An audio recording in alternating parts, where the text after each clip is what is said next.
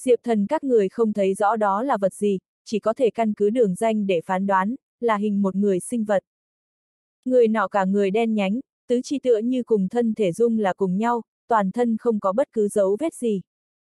Hắn bỗng nhiên xuất hiện, lặng yên không một tiếng động, đen nhánh kia trên thân hình, có đại lộ phù văn lóe lên không ngừng.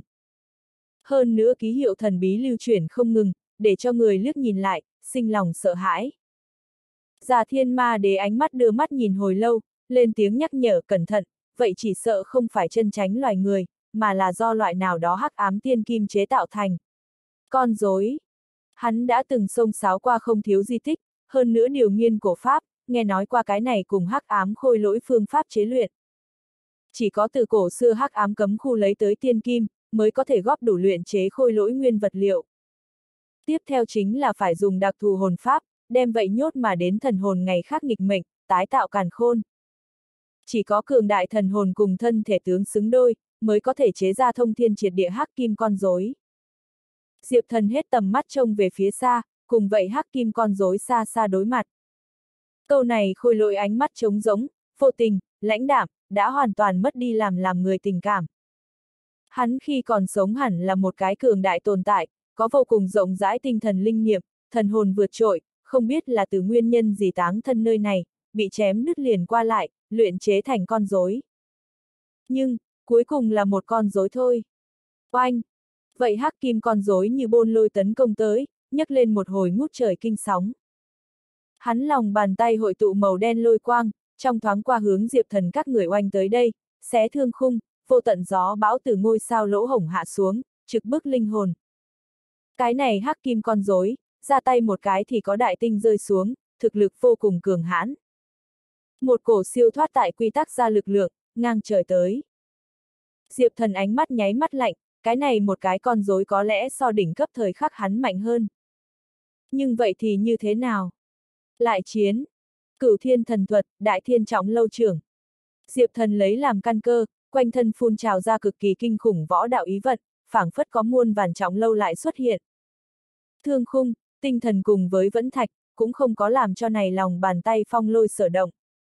Ngược lại là chu vi vạn dặm mặt đất, sinh ra kịch liệt rung động, phảng phất có ngay ngắn một cái tòa khổng lồ núi lửa, sắp bùng nổ. Diệp thần thuộc về trung tâm bão táp, cũng là gió bão người điều khiển. Từ mượn lực, siêu thoát tự nhiên. Đại thiên trọng lâu bên trong có càn khôn thời không tới giữa dịch chuyển, đây cũng tính là cùng luân hồi huyết mạch hỗ trợ lẫn nhau tuyệt thế thần thông, có thiên trọng biến hóa.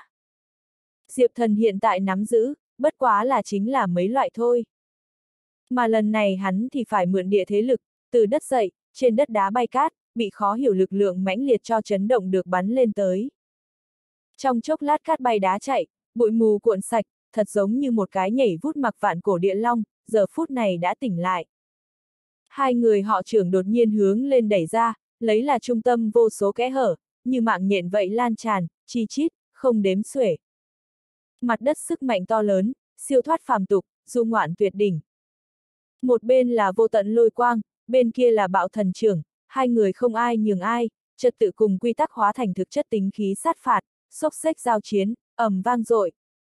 Mây đen cùng lôi quang, hòa lẫn mấy vạn trưởng cát đá vòi rồng, cơ hồ đem cái này phiến cấm địa chìm ngập. Già thiên ma đế cùng kỳ tư thanh phân biệt lấy ra phòng ngự thủ đoạn, thật sớm cách xa, tránh ra trong chiến trường lòng gió bão. Này cùng phép tắc giao chiến, đã không phải là bọn họ có thể tham dự. Trong chiến trường tim, Diệp thần giết mù quáng, hai cây thiên kiếm thay thế đại thiên trọng lâu trưởng, bỗng nhiên quang ra. Huyết long bóng người gầm thét bay lên không, trong chốc lát như vương giả hạ xuống. Vậy hắc kim con rối không có sau này thủ đoạn ứng đối, bị huyết long một cái đuôi chụp bay, chấn động ra thật là xa. Bất quá chỉ là vào lúc này, vậy cái con rối trên mình nơi quấn quanh quy tắc trói buộc, có chút giãn ra. Một đoạn ý thức truyền ra, tiến vào diệp thần đầu óc bên trong. Lại còn có còn sót lại thần hồn. Diệp thần nhất thời kinh ngạc. Đúng, đây là ta cuối cùng một chút tàn hồn, ta đến từ tại thế giới vô biên, hàng cách đến nơi này, vốn là tới tìm cơ duyên, nhưng không ngờ tới, ở chỗ này chết, thần hồn bị bắt. Vậy một món yếu ớt linh niệm vô cùng là không cam lòng. Hắn đã vượt qua vậy sông dài năm tháng, chém hết qua lại thời gian, chính là vì ở chỗ này tu luyện. Quay đầu lại, lại gặp phải mấy triệu năm khó gặp không gian hắc động. Thân xác biến mất, thần hồn lưu ở chỗ này, đau đến không muốn sống. Nhớ, nơi này ao nước chỉ là dẫn dụ, như có lòng nghĩ bậy, liền không thể đi vào. Chân chính bảo tàng, ở nơi này khu rừng trúc chỗ sâu. Chỉ có tâm tư trong veo người, phương có thể vào. Cái này tia thần niệm đổi được càng ngày càng yếu, thật giống như hoàn toàn biến mất, hoàn toàn mất đi ở thời gian sông dài trong đó. Một khắc sau, vậy cái hắc kim con rối lại lần nữa đổi được sát khí nghiêm nghị. Chỉ bất quá cái này con rối còn chưa động lực, liền bị một đôi hư ảo tay bắt được mắt cá chân. Đó lại là một chút thần hồn ẩn núp thủ đoạn. Giao. Hắc kim con rối liều mạng vùng vẫy, nhưng không cách nào thoát khỏi vậy hai tay trói buộc, bị lôi vào nước mắt ao đáy ao vực sâu. Vậy cây cự đại cây trúc rất là tức giận, nhưng nó nhưng không cách nào ngăn cản loại chuyện này phát sinh. Chỉ có thể mượn do gió gầm thét để diễn tả tâm trạng. Mà Diệp Thần, chính là được đến cuối cùng vừa phân thần đọc truyền đạt. Ngay sau đó hắn trước mắt sáng lên. Bởi vì đối phương truyền tới vậy một món thần niệm, là trôn giấu đã lâu sát chiêu. Chính là vì trả thù. Cầm cái này, người có thể yên ổn xuyên qua nơi này, đến chân chính nước mắt ao. Ở trong đó mới có người địch nhân chân chính. Nhớ, muốn ở đối phương phòng bị buông lỏng lúc đó, dùng vật này, một kích giết chết. Ta phải cảm tạ ngươi, để cho ta có cái này một phần báo thù cơ hội. Ta đời này có quá nhiều tiếc nuối, hiện tại cũng coi là liền lại một cái trong đó đi. Cái này tia thần niệm thanh âm vừa dứt, Diệp thần liền chỉ thấy được vậy hắc kim con rối kịch liệt nổ lên, mãnh liệt ánh sáng nhấc lên một đại đoạn đợt sóng, trực tiếp cuốn ở đó phiến to lớn rừng trúc trên mình. Diệp thần nhất thời liền biết rõ. Lúc đầu người này mục tiêu cuối cùng, chính là kéo cái này khu rừng trúc, cũng chính là đầu sỏ lấy mạng đổi mạng. Cùng Diệp thần cái này một chàng đối chiến, để cho hắn mai phục nhiều năm thủ đoạn rốt cuộc được vận dụng. Diệp thần trong tay nắm một khối hắc kim mảnh vỡ, trên đó có tí tí ánh sáng lưu chuyển. Từ vậy hắc kim mảnh vỡ trong đó, hắn biết người này sau cùng chăn chối.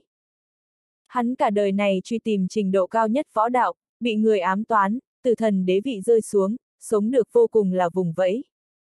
Vì tìm kiếm cơ duyên, trở lại đỉnh cấp, hắn tài không tiếc tự hạ thân phận đi tới cái này chư thiên vạn giới, muốn lấy được được cái này nước mắt ao truyền thừa.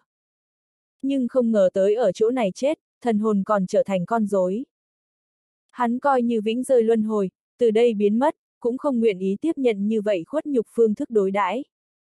Cho nên hắn lựa chọn lấy mạng đổi mạng, cùng cái rừng trúc kia cùng hóa là cho tàn. Diệp thần khe khẽ thở dài, người này cũng là một bi tình nhân vật. Bất quá hắn vậy hắc kim trong mảnh vụn còn có khắc một hàng chữ nhỏ, hắn đã đem tất cả truyền thừa võ học phong cất ở đây khối mảnh vỡ trong đó, chỉ đợi Diệp thần lấy được thiên quân lão tổ cảnh giới, là được giải khai phong ấn, tiếp nhận hắn truyền thừa. Diệp thần thấy cái nghề này chữ, nhất thời rơi vào trầm tư.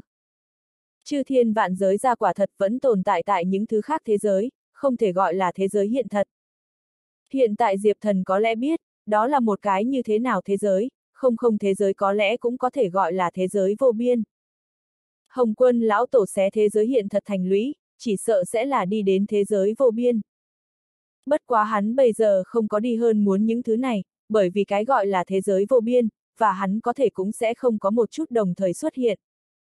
Thái thượng thế giới có lẽ chính là điểm cuối của hắn, hoàn thành đã từng là lời hứa, và người mình yêu cùng nhau xem nắng chiều, có lẽ mới là võ đạo cuối.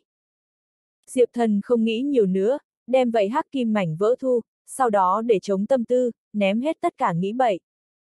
Hắn đem gã cường giả kia nơi cấp cho thành thật khuyên, nhớ kỹ ở trong lòng. Còn như lần này nước mắt ao chuyến đi, nguy hiểm do một mình hắn gánh vác là được, trên bờ tổng được lưu gánh người.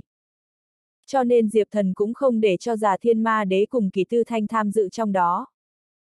Một phen khuyên giải an ủi sau này, khuyên can mãi, kỳ tư thanh cuối cùng là đồng ý Diệp Thần một thân một mình đi trước, nhưng nàng vậy tỏ rõ, một khi Diệp Thần gặp phải nguy hiểm, nàng đem sẽ thời gian đầu tiên đuổi tới cứu viện. Yên tâm đi, không nguy hiểm gì. Diệp Thần cười một tiếng, rồi sau đó xoay người, đối với vậy miệng nước mắt ao.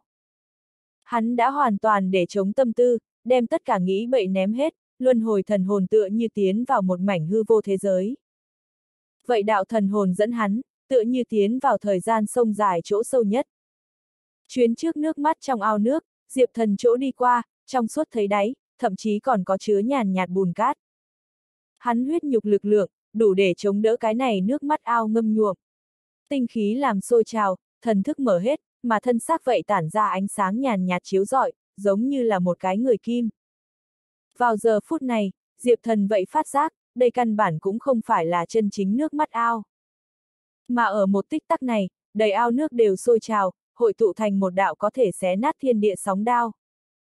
Nhưng Diệp Thần một chút cũng không kinh hoàng, hắn tiến vào cảnh giới kỳ diệu sau đó, tự nhiên làm theo, có tiên đạo hơi thở tản ra trình độ đậm đà, vượt xa cái này giả tạo nước mắt ao. Cho nên vậy sóng đao đến bên cạnh hắn, nửa tấc lại cũng không cách nào tiến về trước, ngược lại là chậm rãi lui về phía sau. Diệp thần ánh mắt chạm chạm, hắn nhìn ra chút đầu mối, tiếp tục tiến về trước, cho đến vậy sóng đao sẽ hoàn toàn làm tan rã, nơi này phản kháng cũng chỉ mất đi tác dụng. Ba giây sau đó, vậy sóng đao hoàn toàn tiêu tán, nguyên chỗ ao nước cũng theo đó huy phát, tán lạc, chỉ có vậy bị thần hồn chụp ngã mảng lớn cây trúc. Diệp thần đi tới cái rừng trúc kia, phát hiện vậy cây trúc phần gốc như cũ có còn sót lại, cúi đầu nhìn, lại có tí ti đậm đặc như ngọc chất lỏng ở trong đó lưu truyền. Cái này sợ rằng mới thật sự là nước mắt ao tinh hoa.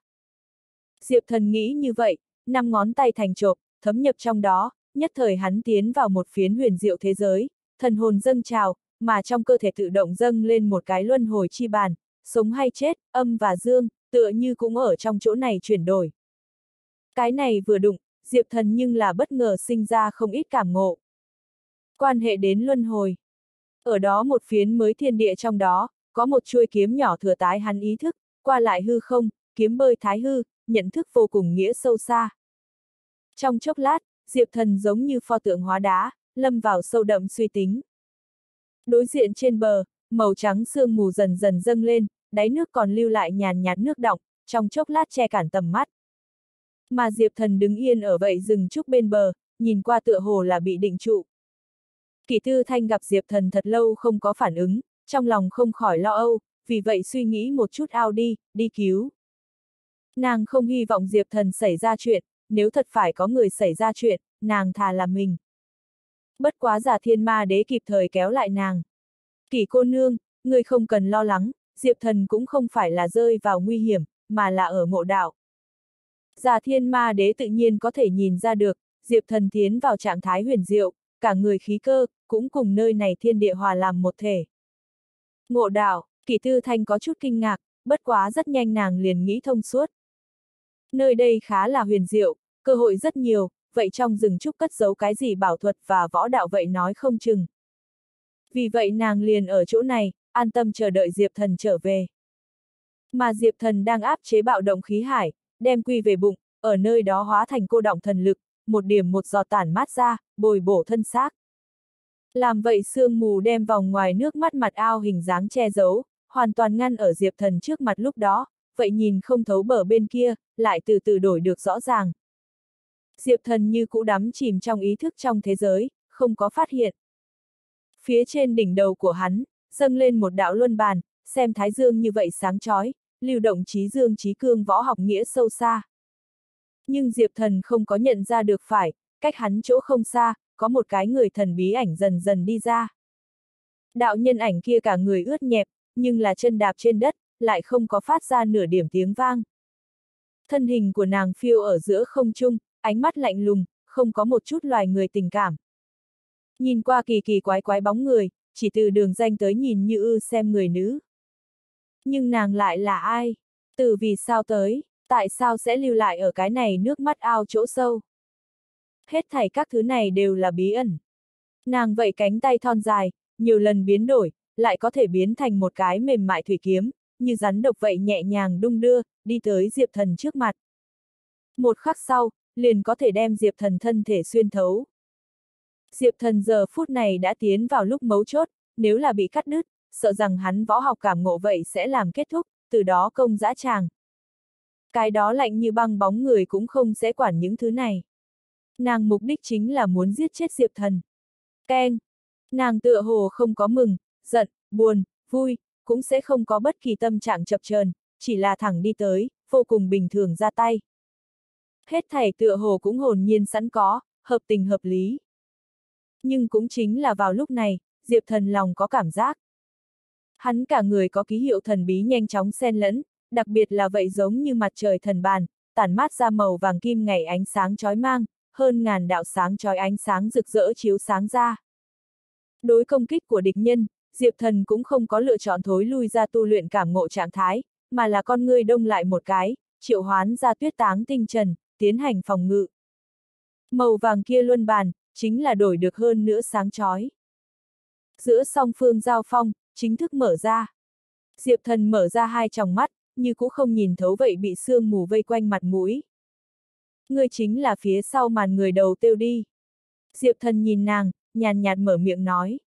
Chỉ bất quá trên đỉnh đầu mặt trời gay gắt luân bàn, vậy theo ầm ầm hạ xuống. Bóng người kia cũng không trả lời hắn, mà là phát ra một tiếng tựa như như dã thú gầm thét, toàn bộ thân thể vọt tới, phịch đích một tiếng, đụng vào tinh trần thượng. Diệp thần người thuộc về ngộ đạo trạng thái, hắn lĩnh ngộ đồ vô cùng là huyền diệu, cùng luân hồi học sinh ra đồng tình.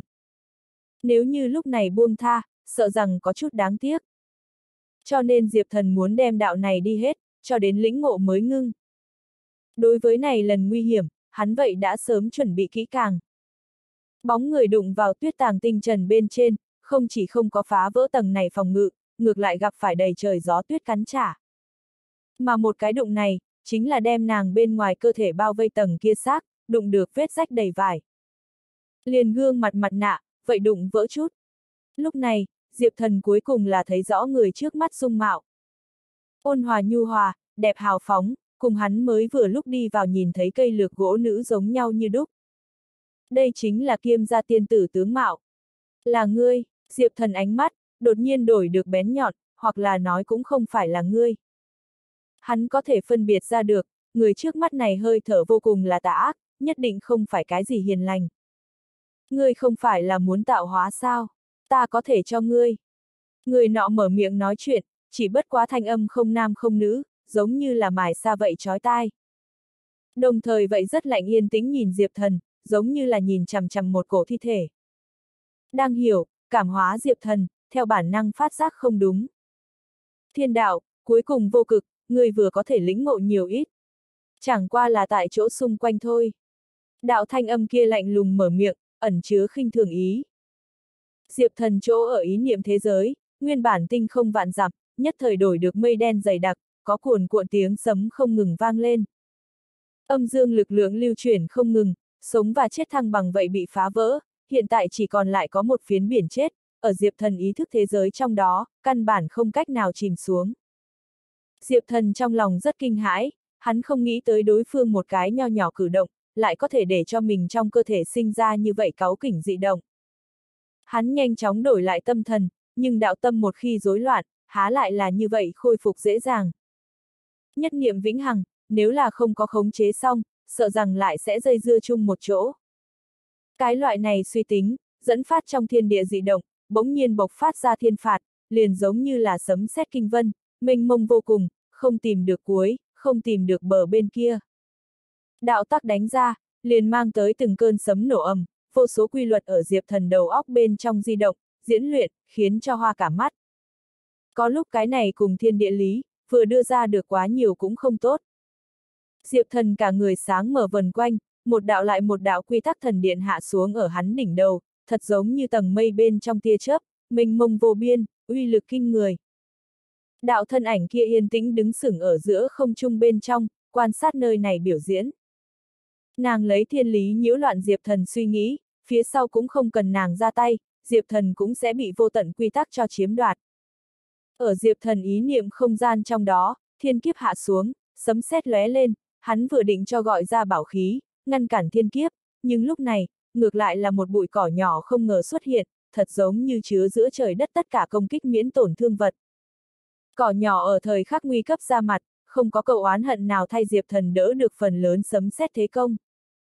Diệp Thần đem vậy lôi kiếp thấy rõ ràng, cứ việc tầng mây sau đó còn có đếm không hết tia chớp, nhưng hắn vẫn vui mừng không sợ. Những ngày qua phạt, đến từ thế giới bất đồng, cũng có thể cùng ta luân hồi huyết mạch sinh ra phản ứng.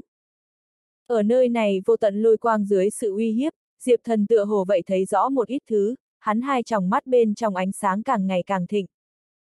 Hắn đáy lòng đã kiên định nói, chính là luân hồi chi đạo, không người nào có thể dao động. Chỉ có hắn cùng luân hồi chi đạo, hỗ trợ lẫn nhau, lẫn nhau thành tựu, tài có cơ hội leo lên thế giới này tuyệt đỉnh. Vô luận ngươi là từ đâu tới thiên đạo quy luật, quy củ, cũng chỉ có thể là luân hồi huyết mạch phục vụ. Diệp thần kiên định tín niệm trong lòng.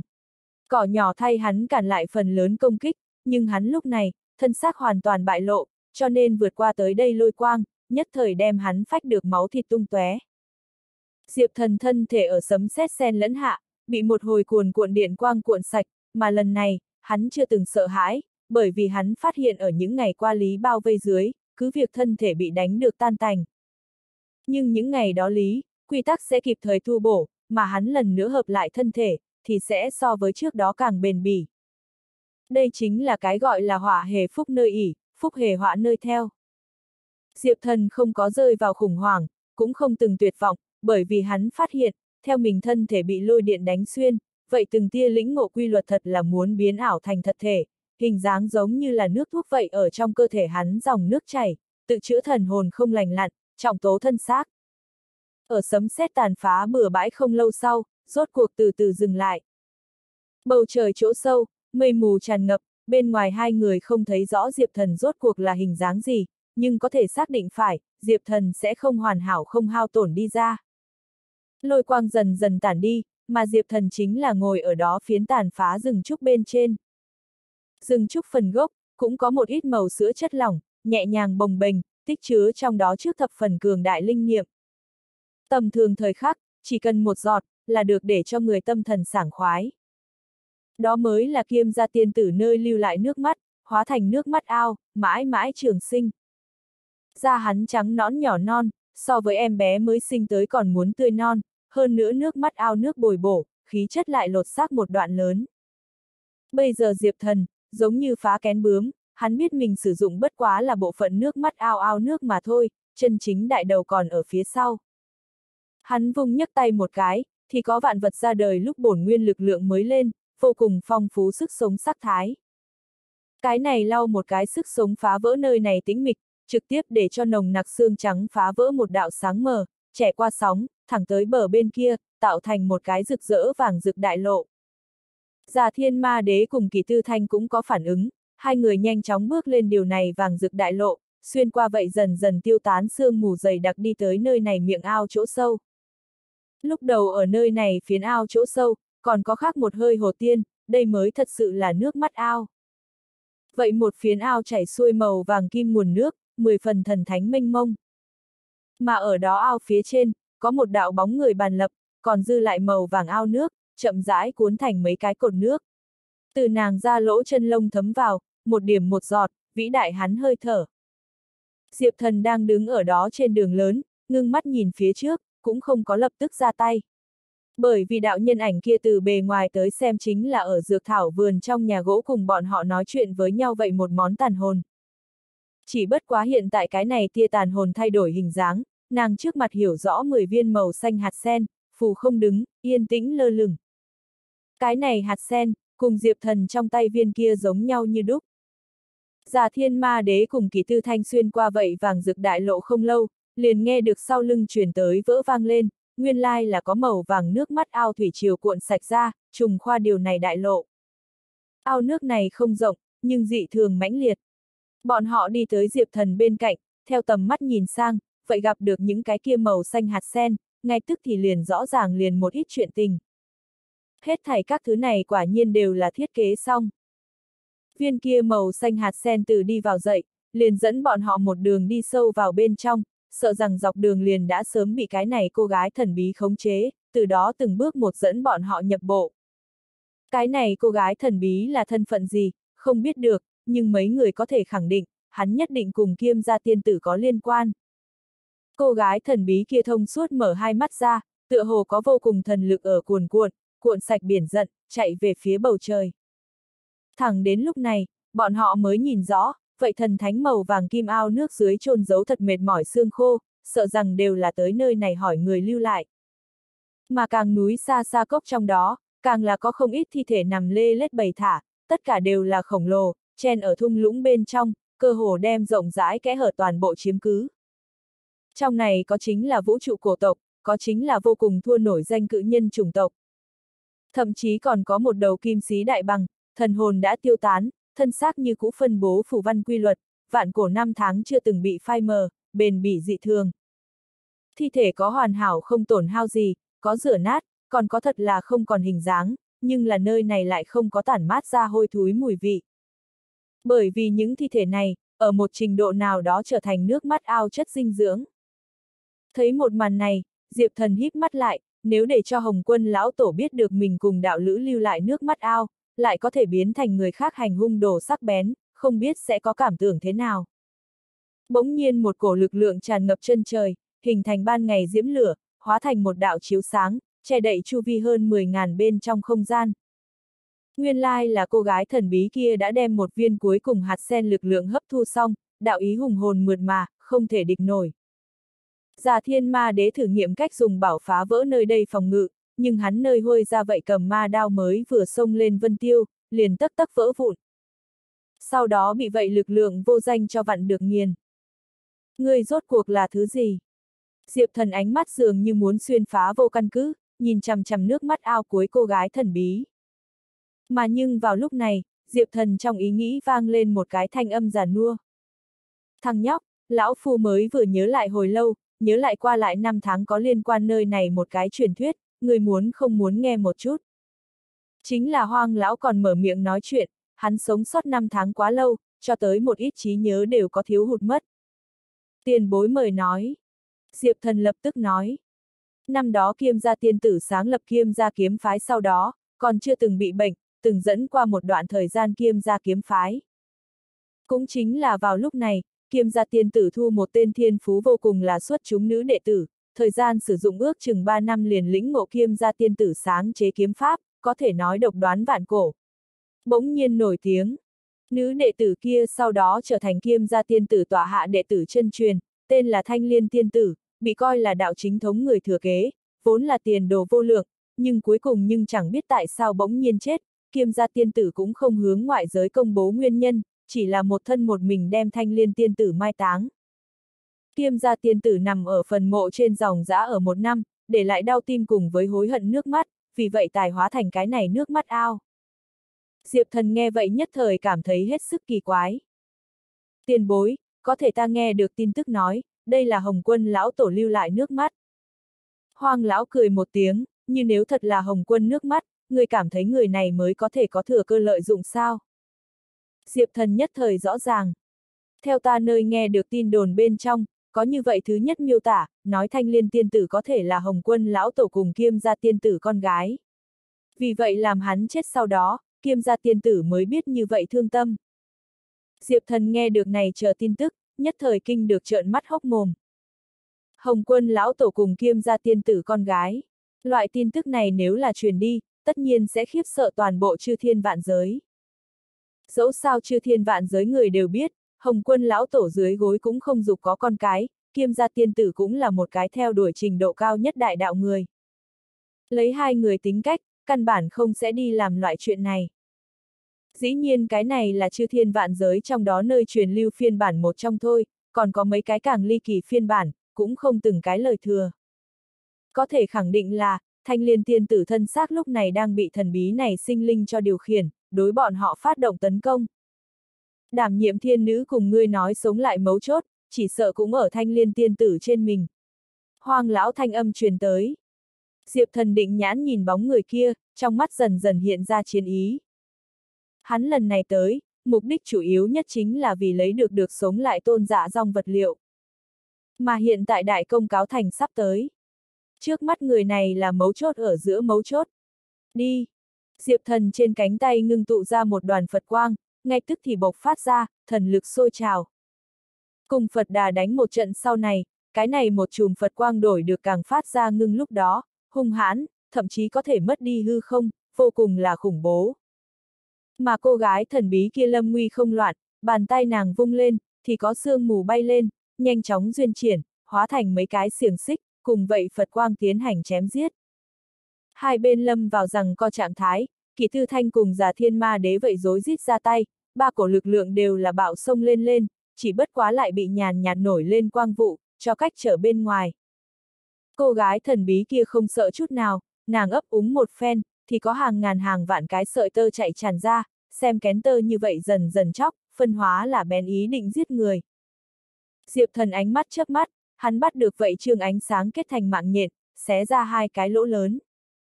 Ba phe thế lực không ngừng dây dưa, rất nhanh ủng ủng tiếng vang bên tai không dứt. Cái này phiến thần bí địa giới, trong ngày thường yên tĩnh bình thản, nhưng là giờ phút này nhưng cuốn lên vô tận gió bão. Đây chính là chính các ngươi tìm chết. Cô gái thần bí kia, rốt cục thì mở miệng nói câu nói đầu tiên. Bất quá thanh âm này tựa như nam vừa tựa như nữ, mười phần khó mà phân biệt, kịch liệt tiếng gầm gừ ngay tức thì truyền tới, để cho người chợt cảm thấy tai điếc. Già thiên ma đế cùng kỳ thư thanh đối với này cùng chiêu số, trong chốc lát căn bản không thể chống đỡ được, cho nên chỉ có thể cắn răng, chợt nhanh chóng lui ra. Nếu như lại chậm một chút, sợ rằng thần hồn của bọn họ cũng có thể bị đánh rách. Cái này cái thân xác là ta, các người ai cũng đừng hòng cướp đi. Cô gái thần bí kia giống như điên cuồng, trực tiếp dương ra vạn tia đại lộ đợt khí, treo ở viễn không bên trong, vô số đợt sóng nhanh chóng tập kích cuốn, cuồn cuộn không ngừng. Như vậy khí cơ, gần như vô địch, để cho người ứng phó không kịp, trong chốc lát căn bản là không cách nào kịp phản ứng. kỷ thư thanh cùng già thiên ma đế phân biệt bước ra thiên trọng đại lộ, mới để cho trước mặt thế công chậm rãi dừng lại, mà bọn họ thì bị bước lui đến chỗ xa vô cùng, trong chốc lát không cách nào mở ra phản kích. Bất quá ở bên kia, Diệp thần thần sắc không nhúc nhích chút nào, hắn lạnh lùng bản chứ gương mặt, chợt bàn tay đi về trước vỗ tới. Cái này một chụp, kích thích ngàn vạn nặng sóng, phổ biên tiêu tiêu đợt khí, ngay tức thì ngược dòng lên, chạy về phía chân trời, chặn lại hắn mang đến uy thế. Đấu chiến thắng Phật nổi lên, thay kỳ tư thanh cùng giả thiên ma đế hai người đỡ được vậy ngập trời thế công.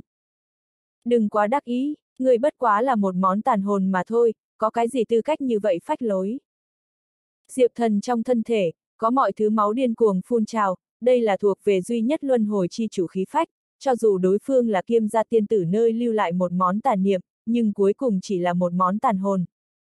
Như thế nào đi nữa mạnh mẽ, cũng không cách nào để cho Diệp Thần cảm giác được chân chính sợ hãi. Đi qua hoang lão giảng giải, Diệp Thần coi như là rõ ràng, vậy thanh liên tiên tử lưu lại thân xác, chính là sống lại tôn dạ dòng tàn hồn mấu chốt. Năm đó kinh tài diễm diễm thanh liên tiên tử, có không thể địch nổi thiên phú, thần hồn tiêu tán sau đó, thân xác cũng là không thể xóa nhòa tồn tại. Nơi này thanh liên tiên tử nơi để lại thân xác, không chịu thời gian luân hồi hạn chế, chỉ cần có thể đem thần hồn dung nhập vào trong đó, liền có thể chiếm cứ thân thể lần nữa sống lại.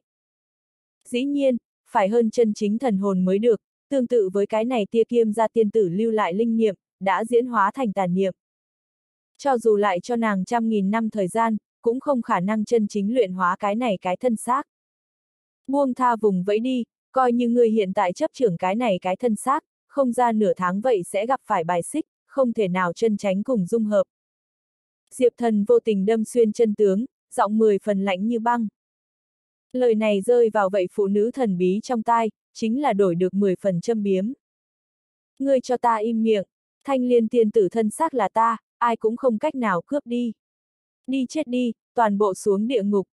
Cô gái thần bí giờ phút này, giống như một đầu nổi điên dã thú, lại cũng không còn trước khi bình thản hình dáng, hoàn toàn mất đi lý trí. Nàng đón vậy đập vào mặt đầy trời Phật quang, phát động ngang nhiên nhất kích. Hai tay bên trong, tức giận lưu chuyển, hòa lẫn mảnh thiên địa này cương mãnh lực, đủ để dung chuyển thương khung, đánh rơi tinh thần. Nhưng Diệp Thần vui mừng không sợ, hắn có luân hồi huyết mạch chống đỡ, hơn nữa bụi gai vương miện cùng máu hòa hợp, cả người cơ hồ cùng thiên địa hòa làm một thể. Một đoàn thần quang bỗng nhiên bùng nổ, sinh ra kịch liệt nổ, hết sức sôi trào, hư không vậy như vậy mất đi, đạt tới khủng bố tuyệt luân. Cái này tia kiêm ra tiên tử lưu lại tàn niệm, đã ra đời không thấp linh trí, biết được như thế nào đem người đùa bỡn tại vỗ tay tới giữa. Đấu chiến thắng Phật, lòng bàn tay có lôi, cùng vậy trí thánh kim quang hòa làm một thể, đại lộ tiếng sấm nhất thời nổ ầm, thông suốt cổ kim, mà cô gái thần bí trên mình chính là có từng cái quang liên qua lại ra, nhanh chóng duyên triển, cùng vậy Phật quang không ngừng chém giết, chút nào không rơi hạ phong. Vậy vô tận Phật quang, giống như tầng mây đem vô tận ánh sáng bao phủ lại, thần thánh tường hòa, không thể địch nổi. Ở nơi này chờ thế công dưới, cô gái thần bí ánh mắt biến. Nàng thần hồn linh niệm dốc toàn bộ ra, không lưu chỗ trống, lại là diễn sinh ra liền mấy con thật nhỏ côn trùng, vỗ cánh mà bay, ông ông tác hưởng, chỗ đi qua, liền toàn bộ hư không cũng sinh ra đồng tình, sau đó rối rít sụp đổ làm tan rã. Cái này mấy con sâu mười phần quỷ dị, giống như là tiểu cường đánh không chết, bị vậy Phật quang lần lượt quất bay, rơi vào nước mắt ao trong đó, văng lên vạn phần gợn sóng. Diệp thần trong mắt kim quang chớp mắt, ngay sau đó chính là năm ngón tay đánh xuống, vậy minh mông linh khí, giống như một ngọn núi ngang nhiên rơi xuống. Vù vù, toàn bộ hư không cũng sinh ra kịch liệt hỗn loạn.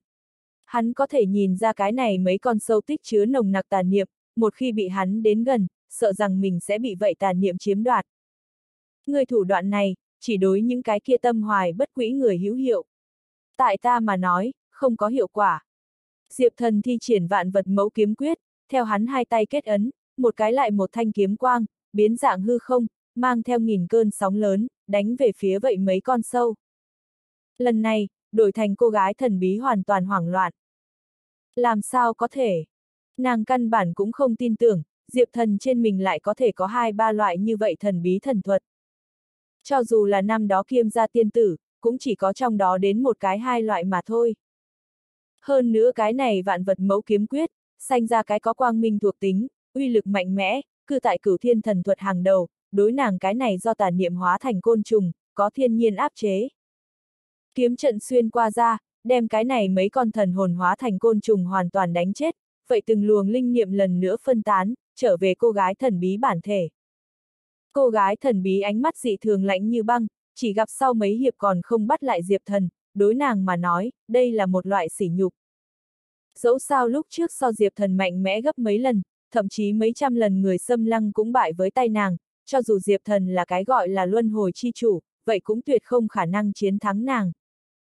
Vốn là ngươi còn có thể có đường lui, nhưng là hiện tại ngươi chỉ có một con đường chết, bởi vì ngươi thành công chọc giận ta. Cô gái thanh âm vô cùng rét lạnh, Diệp thần nghe vậy, chính là bật cười khanh khách. Cái này một món tàn hồn là tivi thấy nhiều rồi sao? Như vậy trung nhị. Cô gái thần bí kia thuyết phục liền động, lần này thả ra vẫn là côn trùng, nhưng so với lúc trước như vậy quy mô nhỏ dò xét, cô gái thần bí thật là dùng hết toàn lực.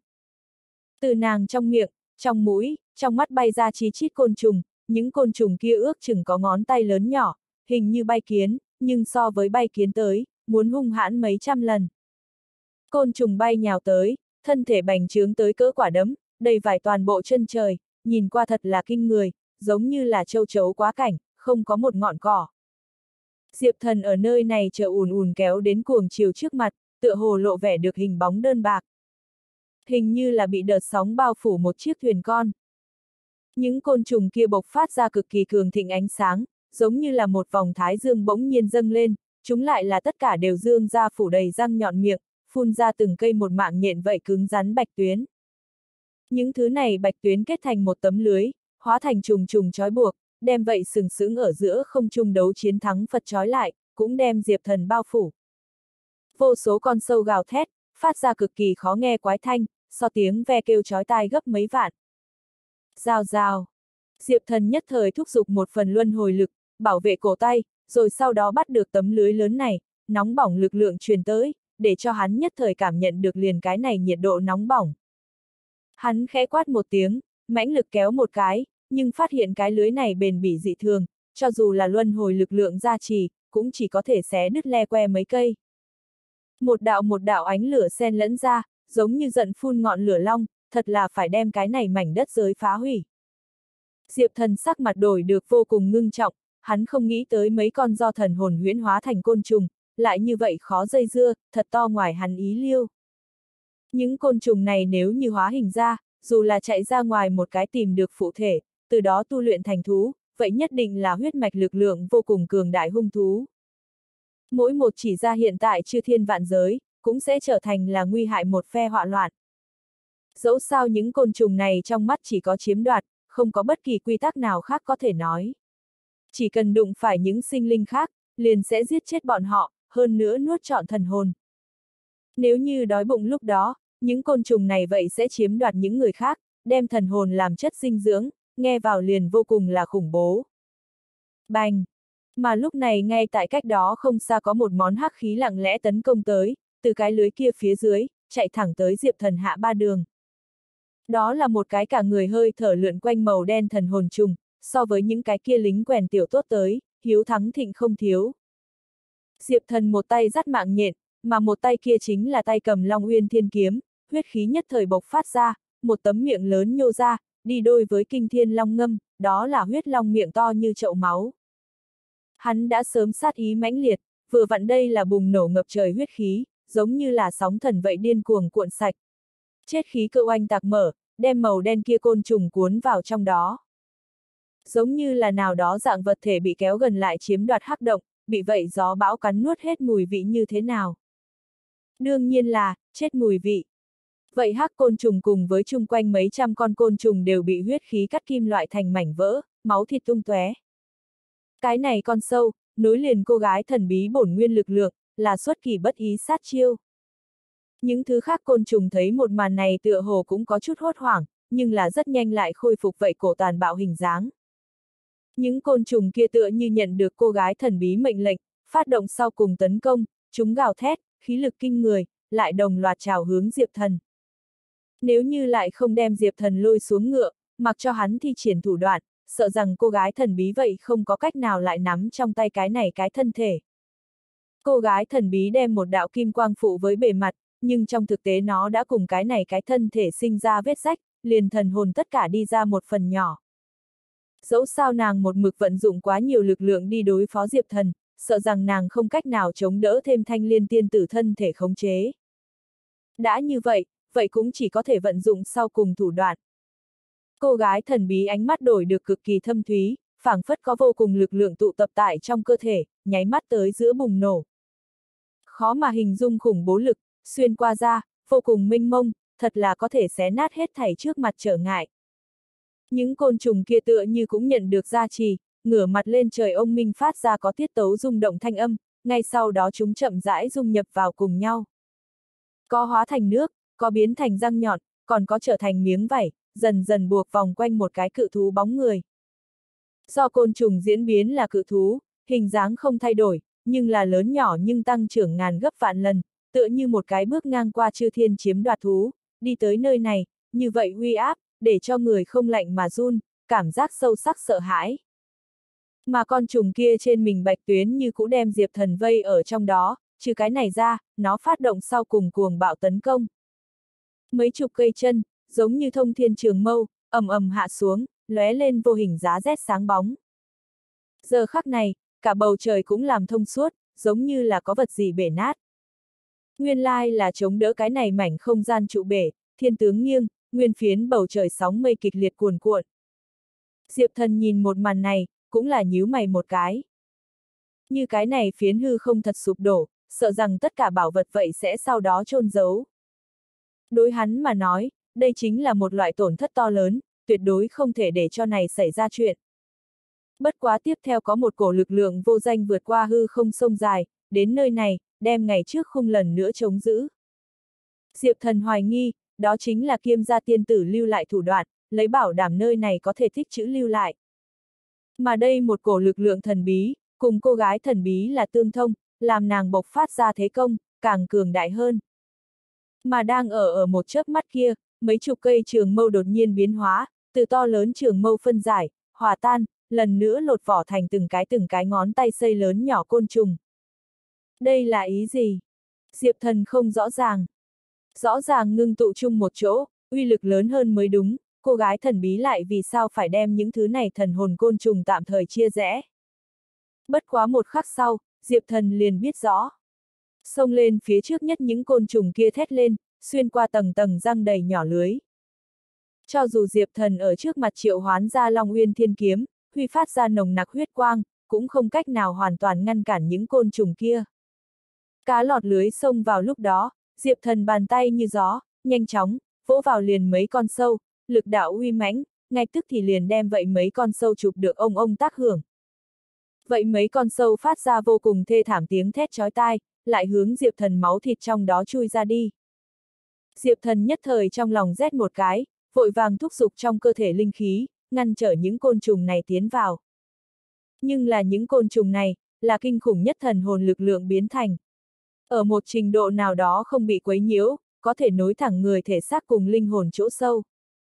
Không chỉ một chỉ, tiếp theo thì có thành hơn trăm ngàn con sâu hút Diệp Thần mặt ngoài thân thể, ước chừng chỉ một cái chớp mắt thời gian, hắn liền bị nhóm trùng bao vây, sống sờ sờ khỏa thành bánh trưng, một màn kia nhìn qua có bao kinh khủng, liền bao kinh khủng.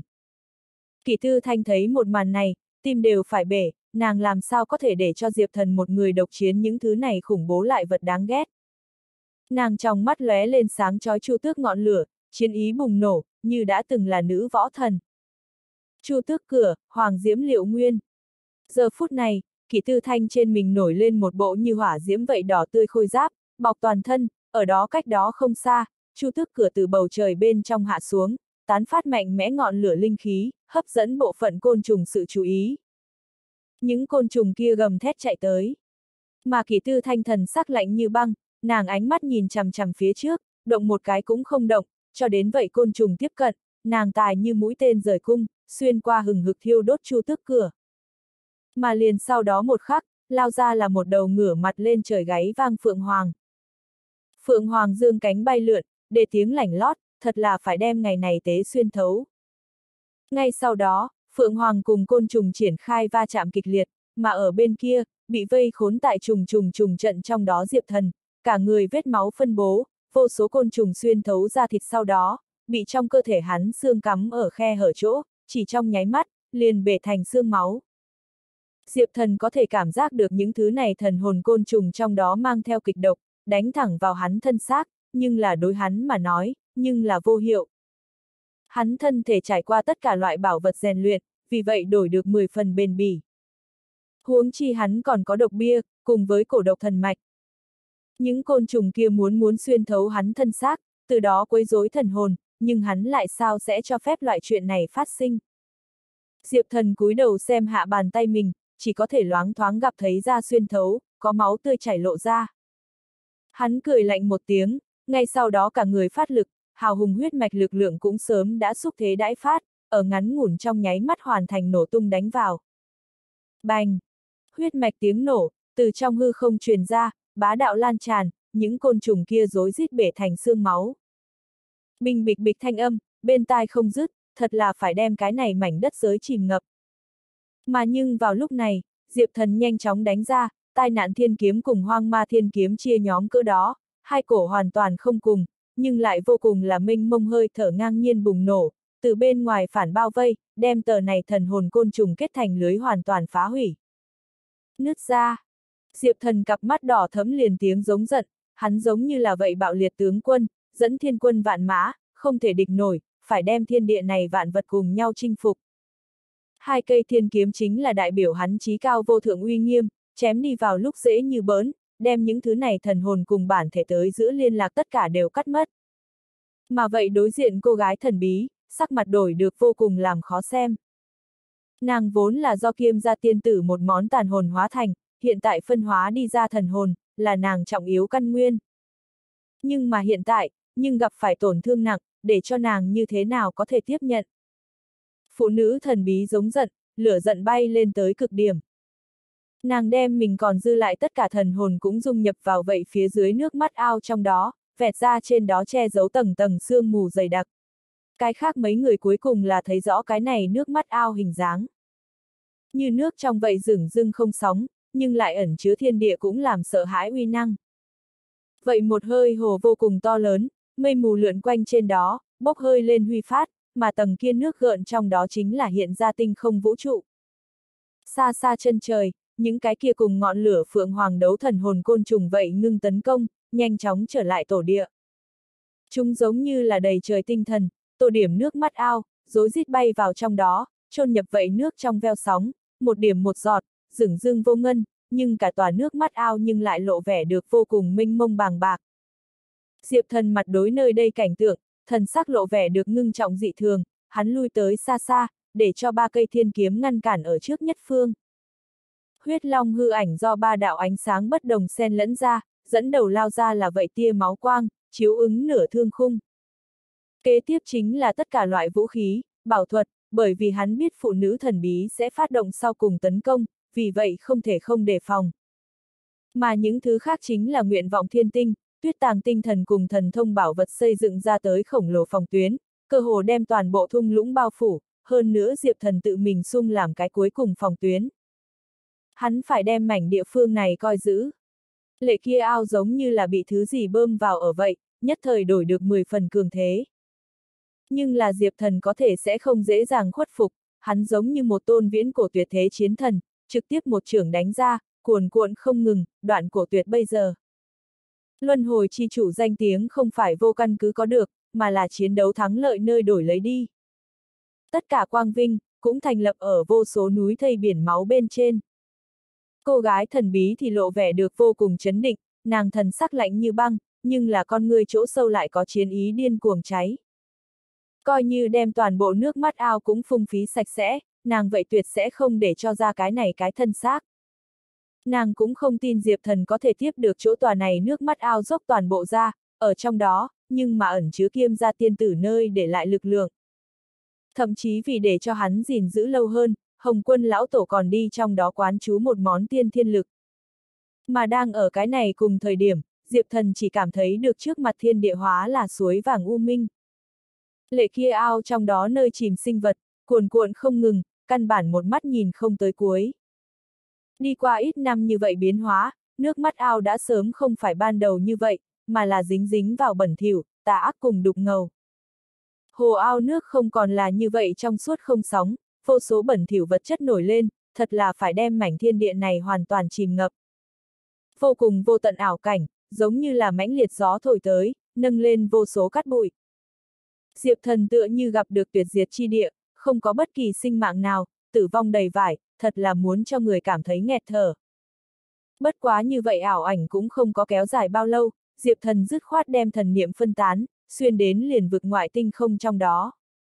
Còn hắn thì bay lên không, đi về phía trước vào, cả người thân hình giống như côn bằng dương cánh, dưới chân đạp ra sấm sét, trực tiếp lướt qua vắt ngang ở hai người giữa hư không.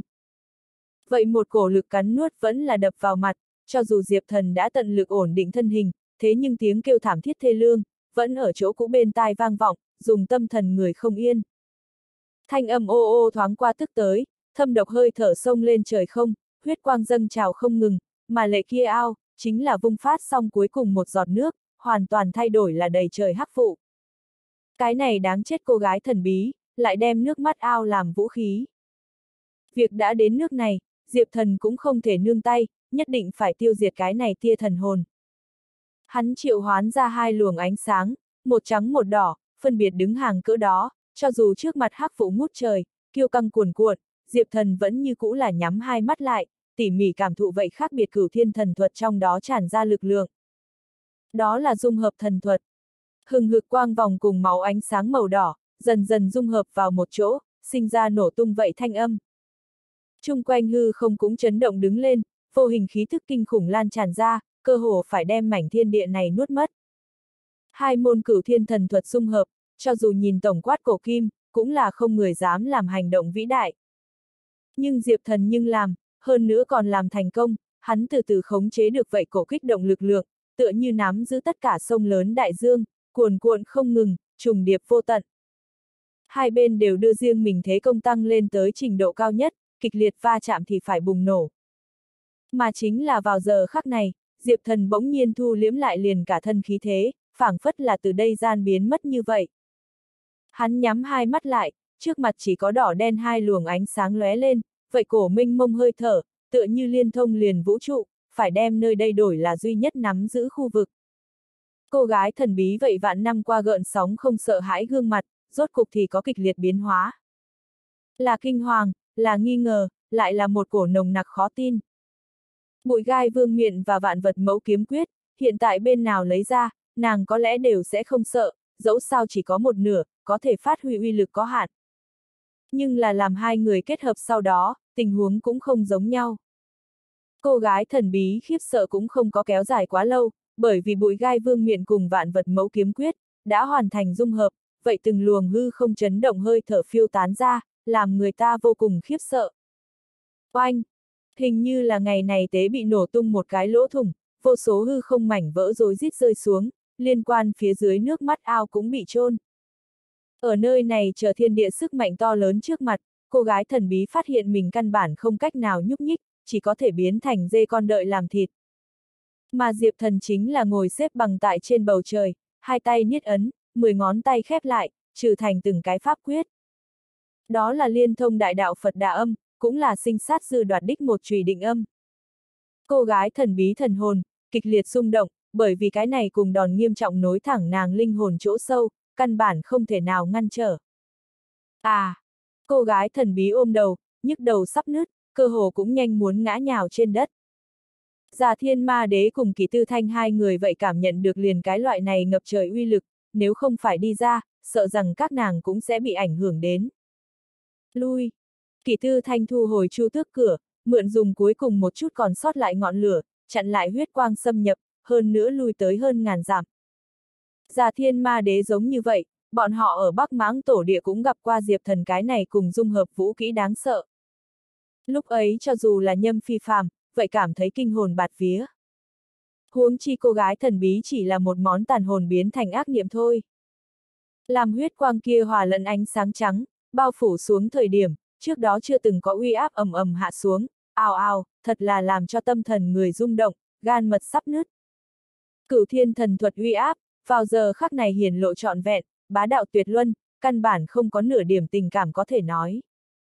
Ung ung tiếng vang lớn âm truyền khắp bốn phương, thẳng tới linh hồn chỗ sâu, cái này mảnh không gian tựa hồ cũng không chịu nổi mạnh như vậy mãnh liệt uy áp, khoảng chừng trong nháy mắt liền ầm ầm sụp đổ. Diệp thần phảng phất là thần cao cao tại thượng linh, lập tức liền đem toàn bộ hư không cho xuyên thủng, thậm chí vậy lực lượng chấn nhiếp lòng người, truyền tới nơi này nước mắt ao chỗ sâu. Cô gái thần bí rốt cục thì không chịu nổi như vậy uy áp, ngửa mặt lên trời điên cuồng hét lên, tràn đầy tức giận cùng sợ, ngay sau đó cầm vậy tia tàn hồn cùng thanh liên tiên tử thể xác tách ra, biến thành một đạo mơ hồ chớp sáng.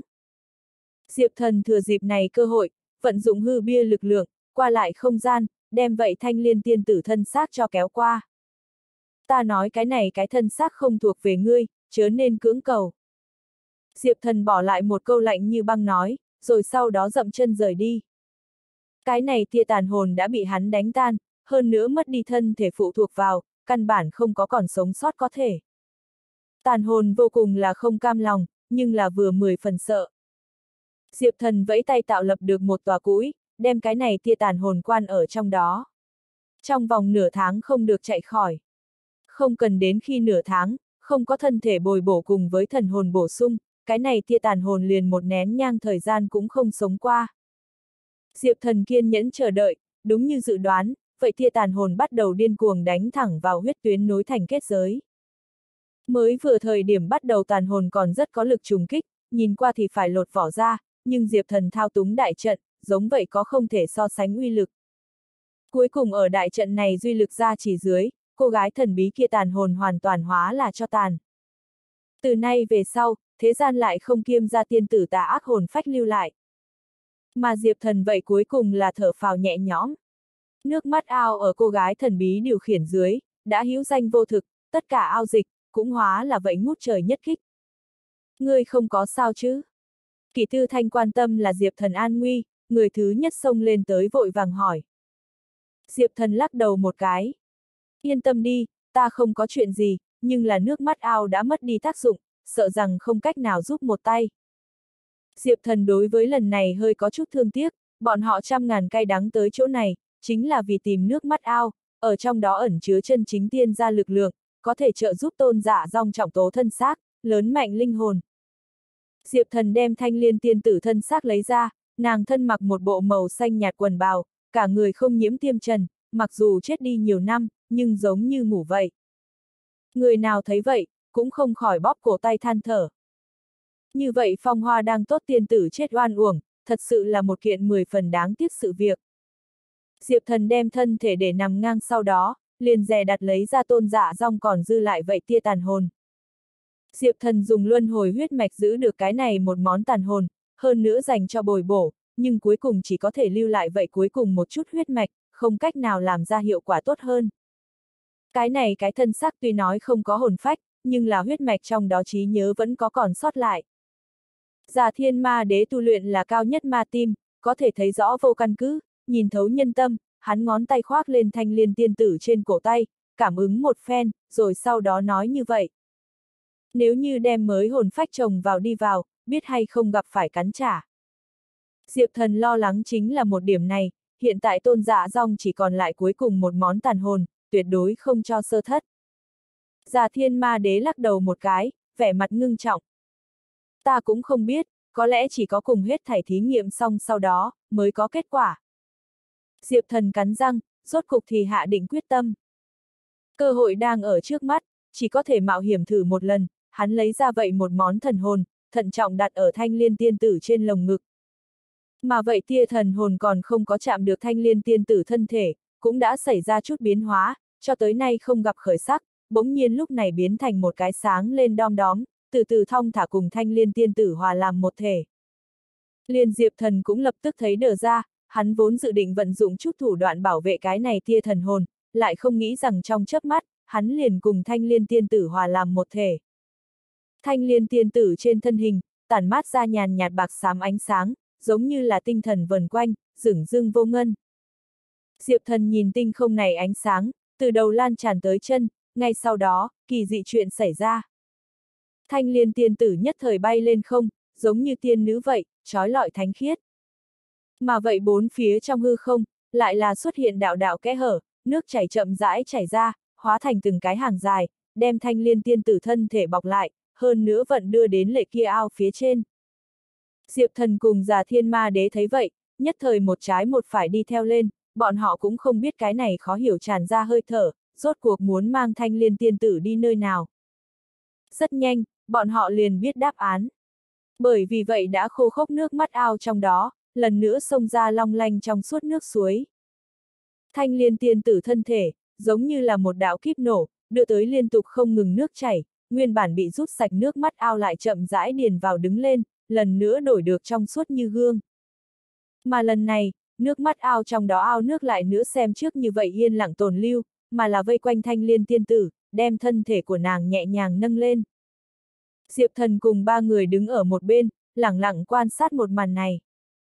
Thanh liên tiên tử lực lượng của thân thể, chậm rãi xông ra, hơn nữa cùng phương thiên địa này hòa làm một thể. Một đạo hư ảo bóng dáng như ẩn như hiện, đổ chiếu vào nước mắt ao trong đó, tản mát ra kinh tâm động phách lực lượng. Thấy một màn này, Diệp Thần nhớ lại từng nghe qua một cái truyền thuyết. Tục truyền, cái này thế gian còn có một loại tuyệt thế linh vật, tên là vô song thanh liên. Thái thượng thế giới từng có cổ xưa thiên quân nói, chư thiên vạn giới đã từng ra đời qua một bụi thông suốt thiên địa thanh liên, biến ảo người lớn, tu hành độ tiến triển một ngày ngàn dặm, là làm cho này chư thiên vạn giới thiên tài kiệt xuất nhất. Hôm nay thấy thanh liên tiên tử bản thể, Diệp thần tựa hồ là rõ ràng, cái này đóa thai ngén thiên địa linh khí mà sinh thanh liên, bản thân chính là một loại cực lớn thiên phú. Căn bản không dùng cố ý tu luyện, liền có thể đem thiên địa linh khí đổi thành là tinh thuần nhất nội lực căn nguyên, mượn này một bước lên trời, đạp phá tầng tầng gông xiềng, đến thế giới này đỉnh cấp. Chỉ tiếc sau đó gặp phải loại nào đó biến cố, mới để cho như vậy thiên tài chết. Diệp thần thấy bụi cây kia màu xanh hoa sen càng ngày càng ngưng tụ, lẳng lặng trôi lơ lửng giữa không trung bên trong. Mà gốc bộ, có trong suốt chất lỏng rơi xuống, cùng lệ kia ao hòa làm một thể. Mỗi rơi vào một giọt, nước mắt ao trong đó chất lỏng thì trở nên được sành sệt một phần. Mà đây phiến ao tựa như đang tụ thế, hội tụ. Liền kỳ tư thanh cùng già thiên ma đế, cũng cảm nhận được liền như vậy lực lượng kinh thiên động địa. Già thiên ma đế nhìn tòa kia nước mắt ao, thán phục không thôi.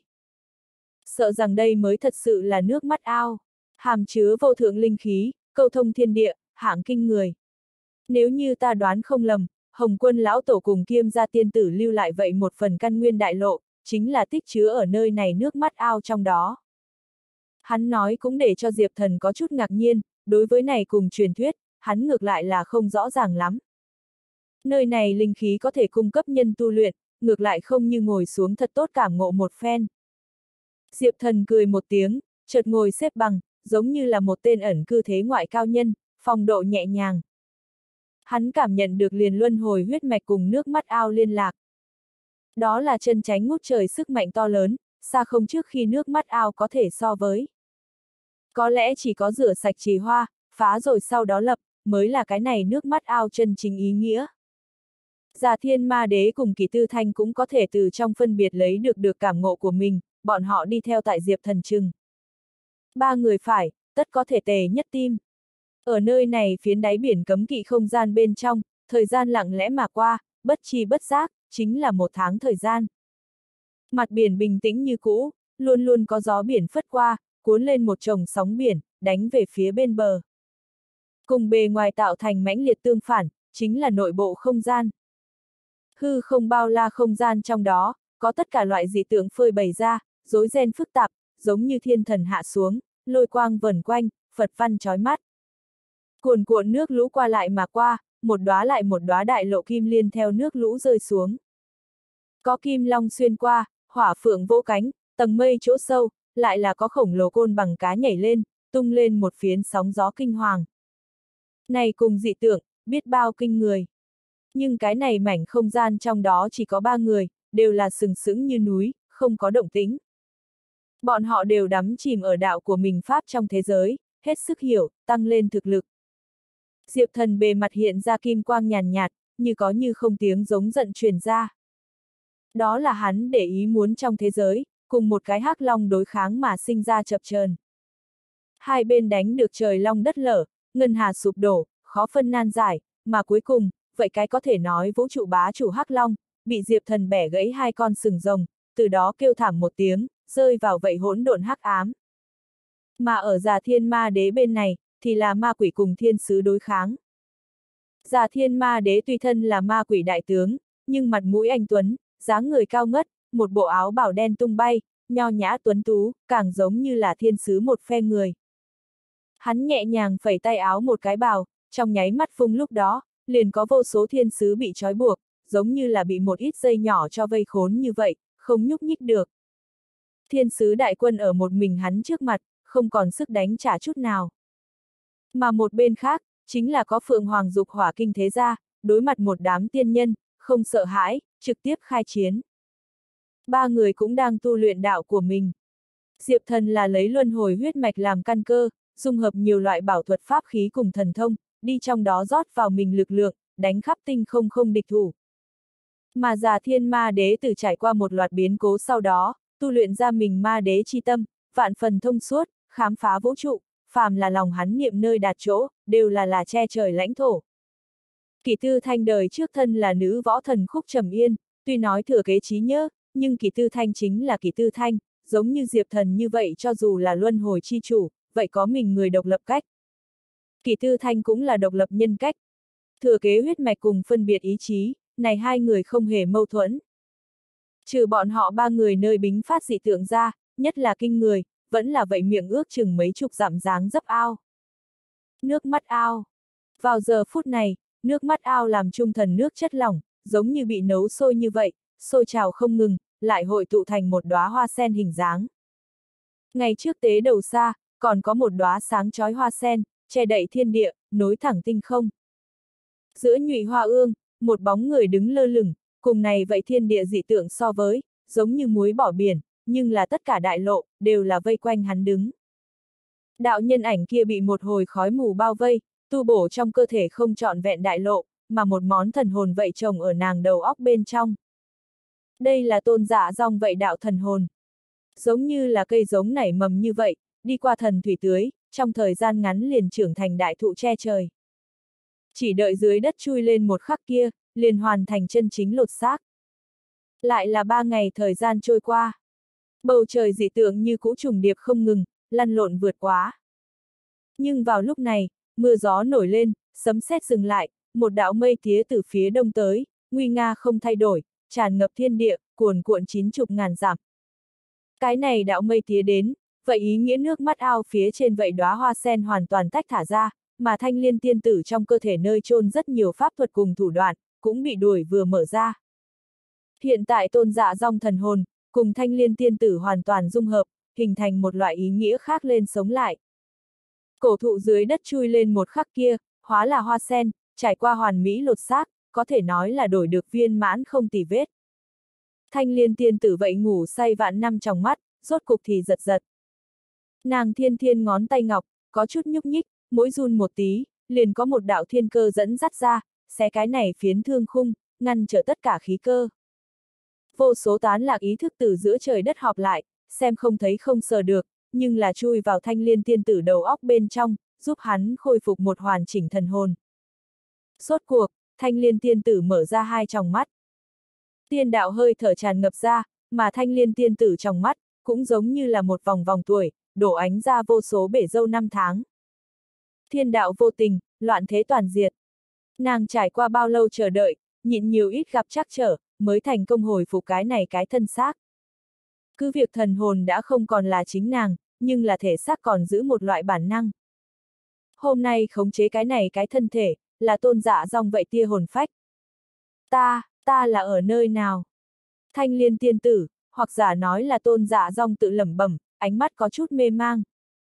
Nàng trí nhớ đứt đoạn đã lâu, còn dừng lại ở vậy một chàng kinh thiên đại chiến, nàng trọng thương mà chết, thật giống như chỉ để lại một món bồng bềnh thần hồn mảnh vỡ. Mà một khối này thần hồn mảnh vỡ bị người cho lấy được rồi, đem nàng bỏ vào một nơi chỗ ấm áp. Hôm nay tạo ra liền mới tinh nàng. Như sóng biển dâng mãnh liệt trí nhớ tiến vào nàng đầu óc bên trong, lúc này mới khiến cho rõ ràng, lúc đầu mình là chiếm cứ thanh liên tiên tử thân thể, hơn nữa thừa kế nàng qua lại tất cả trí nhớ, cùng với vô số thần thông truyền thừa. Cái này cái bản thể vậy mười phần rõ ràng, thanh liên tiên tử thần hồn đã hoàn toàn tiêu tán ở nơi này thế gian, không cách nào sống lại. Vì vậy liền đem vậy một món chấp niệm dung vào máu thịt bên trong, chờ đợi nhiệm kỳ kế thần hồn hạ xuống. Mà mới vừa đúng dịp, tôn giả rong ra đời tại kiêm gia kiếm phái, trên mình mang theo mùi vị quen thuộc. Tôn dạ dòng hiểu được chuyện nguyên nhân hậu quả sau đó, thân sắc đổi được vô cùng là phức tạp, lại tràn đầy nồng nặc cảm động. Nguyên lai là Diệp Thần không để ý hết thảy đem nàng vậy tia tàn hồn mang đến nơi này, hơn nữa chế phục thanh liên tiên tử thân xác, nếu không nàng căn bản không cách nào sống lại. Bởi vì Diệp Thần liều mạng, mới có thể để cho nàng lưu lại cái này tia thần hồn, cùng thanh liên tiên tử hòa làm một thể. Thân thể dung hợp sau khi hoàn thành, nguyên phiến thiên địa đổi được an tĩnh lại. Tôn dạ dòng tỉ mỉ cảm thụ trong cơ thể rồi rào lực lượng, so với lúc trước, mạnh mẽ trăm lần vượt quá. Đây thật là mình lực lượng. Bây giờ nàng, mượn do cái này cái thân sắc phụng dưỡng lại thần hồn, đột phá trăm gia cảnh hạn chế, thậm chí và những cái kia thực lực kinh khủng thiên quân lão tổ đều có thể chống lại. Cái này phần lớn là thanh liên tiên tử lực lượng, vậy tới từ viễn cổ kỷ nguyên lực lượng. Bất quá, những lực lượng này, cũng không phải là tôn dạ trong thời gian ngắn có thể nắm trong tay. Mà hết thảy các thứ này, đều là Diệp Thần mang cho hắn. Linh khí trong trời đất dần dần tiêu tán sau đó, Diệp Thần các người vậy từ trong trạng thái tu luyện tỉnh lại. Hắn vừa mở mắt, liền gặp được một vị mỹ nhân tuyệt thế, bước liên tục nhẹ nhàng, chậm chậm tới, hai tròng mắt sáng rỡ như xuân, khóe miệng hàm chứa vẫy không ra nụ cười. Tỉnh lại, hiện tại cảm giác như thế nào? Diệp thần cười hỏi. Tôn giả dòng vậy hai mắt sáng rỡ, nhìn chăm chăm Diệp thần, dường như muốn đem Diệp thần nhào nát, giấu vào trong mắt. Đối mặt này cùng ánh mắt nóng bỏng, Diệp thần chính là sờ một cái lỗ mũi. Cảm giác cũng không tệ lắm. Trước kia ta lấy là thanh liên tiên tử chỉ là một truyền thuyết mà thôi, không nghĩ tới lại là chân thực tồn tại. Tôn dạ rong rộng, như cũ còn sót lại trước ngạc nhiên. Dẫu sao năm đó thanh liên tiên tử, nhưng mà kiêm gia tiên tử cũng nhìn chúng nhân tài mới nổi. Ai có thể muốn càng về sau lại thần hồn mất đi, thân xác hướng đi thành mê đâu. Nguyên lai là bị kiêm gia tiên tử phong ấn ở cái này nước mắt ao ngay giữa, thì lấy cường đại thuật pháp, duy trì thân thể nguyên dạng. Có lẽ không có thể sống lại thanh liên tiên tử, cũng là kiêm gia tiên tử trước khi chết một lớn tiếc nuối đi. Chỉ bất quá hiện tại hết thảy các thứ này cũng theo gió phiêu tán, bởi vì thanh liên tiên tử thân xác có chủ nhân mới, hơn nữa thân xác nơi tồn lưu vậy một món chấp niệm, vậy công nhận một điểm này. Trừ phi tôn dạ dòng thần hồn lần nữa biến mất, cái này đóa thanh liên tài có khả năng đi tìm một chút để mặc ký chủ. Nếu không, hai người đem dung hợp lẫn nhau, ngồi xem chư thiên thế giới gió nổi mây vần, có rất dài tuổi thọ. Trước kia ta cũng không biết, cho đến tới nơi này, tài thấy được cái này cái thân thể đáng sợ. Diệp thần lòng bàn tay, hiện ra một cái kim quang lòe lòe tiểu long. Đó là hắn ở đạo pháp thế giới trong đó, sở ngưng luyện được căn nguyên hóa vật, có thể đem mình bổn nguyên lực lượng nén đến mức tận cùng, đổi là giả nghĩ hình thái. Điều này Tiểu Long nhìn như đáng yêu, nhưng nếu là Diệp Thần đem hất ra, có thể hủy diệt một mảnh tinh không. Người luân hồi lực lượng lại tăng cường, cái này cái thân xác đã từng gặp qua, chỉ có thái thượng thế giới cổ tiên, mới biết có ngươi như vậy uy áp. Tôn dạ dòng nhất thời ngạc nhiên nói. Nàng thừa kế thanh liên tiên tử bộ phận trí nhớ, dĩ nhiên vậy thông hiểu năm đó một ít chuyện hành động. Lúc này, kỳ tư thanh vậy từ trạng thái tu luyện khôi phục như cũ. Bây giờ nàng, cùng chu thước cửa hòa làm một thể, Phượng Hoàng Dục Hỏa đã trở thành nàng trong cơ thể một đạo pháp tướng, có thể tùy thời từ trong cơ thể điều động. Tương đương với vận dụng chu tước cửa lực lượng. Dẫu sao nữ võ thần danh tiếng cũng không phải là thổi phồng lên, có thể đi theo ở luân hồi chi chủ bên người, đủ để chứng minh huyết mạch mạnh mẽ. Hơn nữa luân hồi chi chủ cùng nữ võ thần tới giữa tình yêu bất hòa, âm dương bổ sung, làm cho kỳ tư thanh thân xác, thần hồn càng phát ra mạnh mẽ. Đột phá đến tới cảnh giới cao, trong tầm tay. Mà kỳ tư thanh sau khi tỉnh lại, liền đem sự chú ý thả ở trước mặt cái này nghiêng nước nghiêng thành trên người cô gái. Nàng dĩ nhiên biết tôn giả rong thân phận. Hai cô gái ánh mắt chạm nhau, chỉ là khẽ gật đầu tỏ ý, cũng không nhiều lời. Các nàng cũng có thể nhận ra được với nhau phần kia địch ý. Diệp thần đối tôn dạ dòng có lẽ không có quá nhiều tình cảm, nhưng một người đàn ông, là tôn dạ dòng sống lại, cái này đủ để giao động bất kỳ băng sơn tim. Thời khắc này tôn dạ dòng, đối Diệp thần yêu, đã hoàn toàn nảy mầm. Bất quá, nàng cũng biết, Diệp thần đối mình quan tâm, không cách nào và một mực ở Diệp thần bên người kỳ tư thanh như nhau.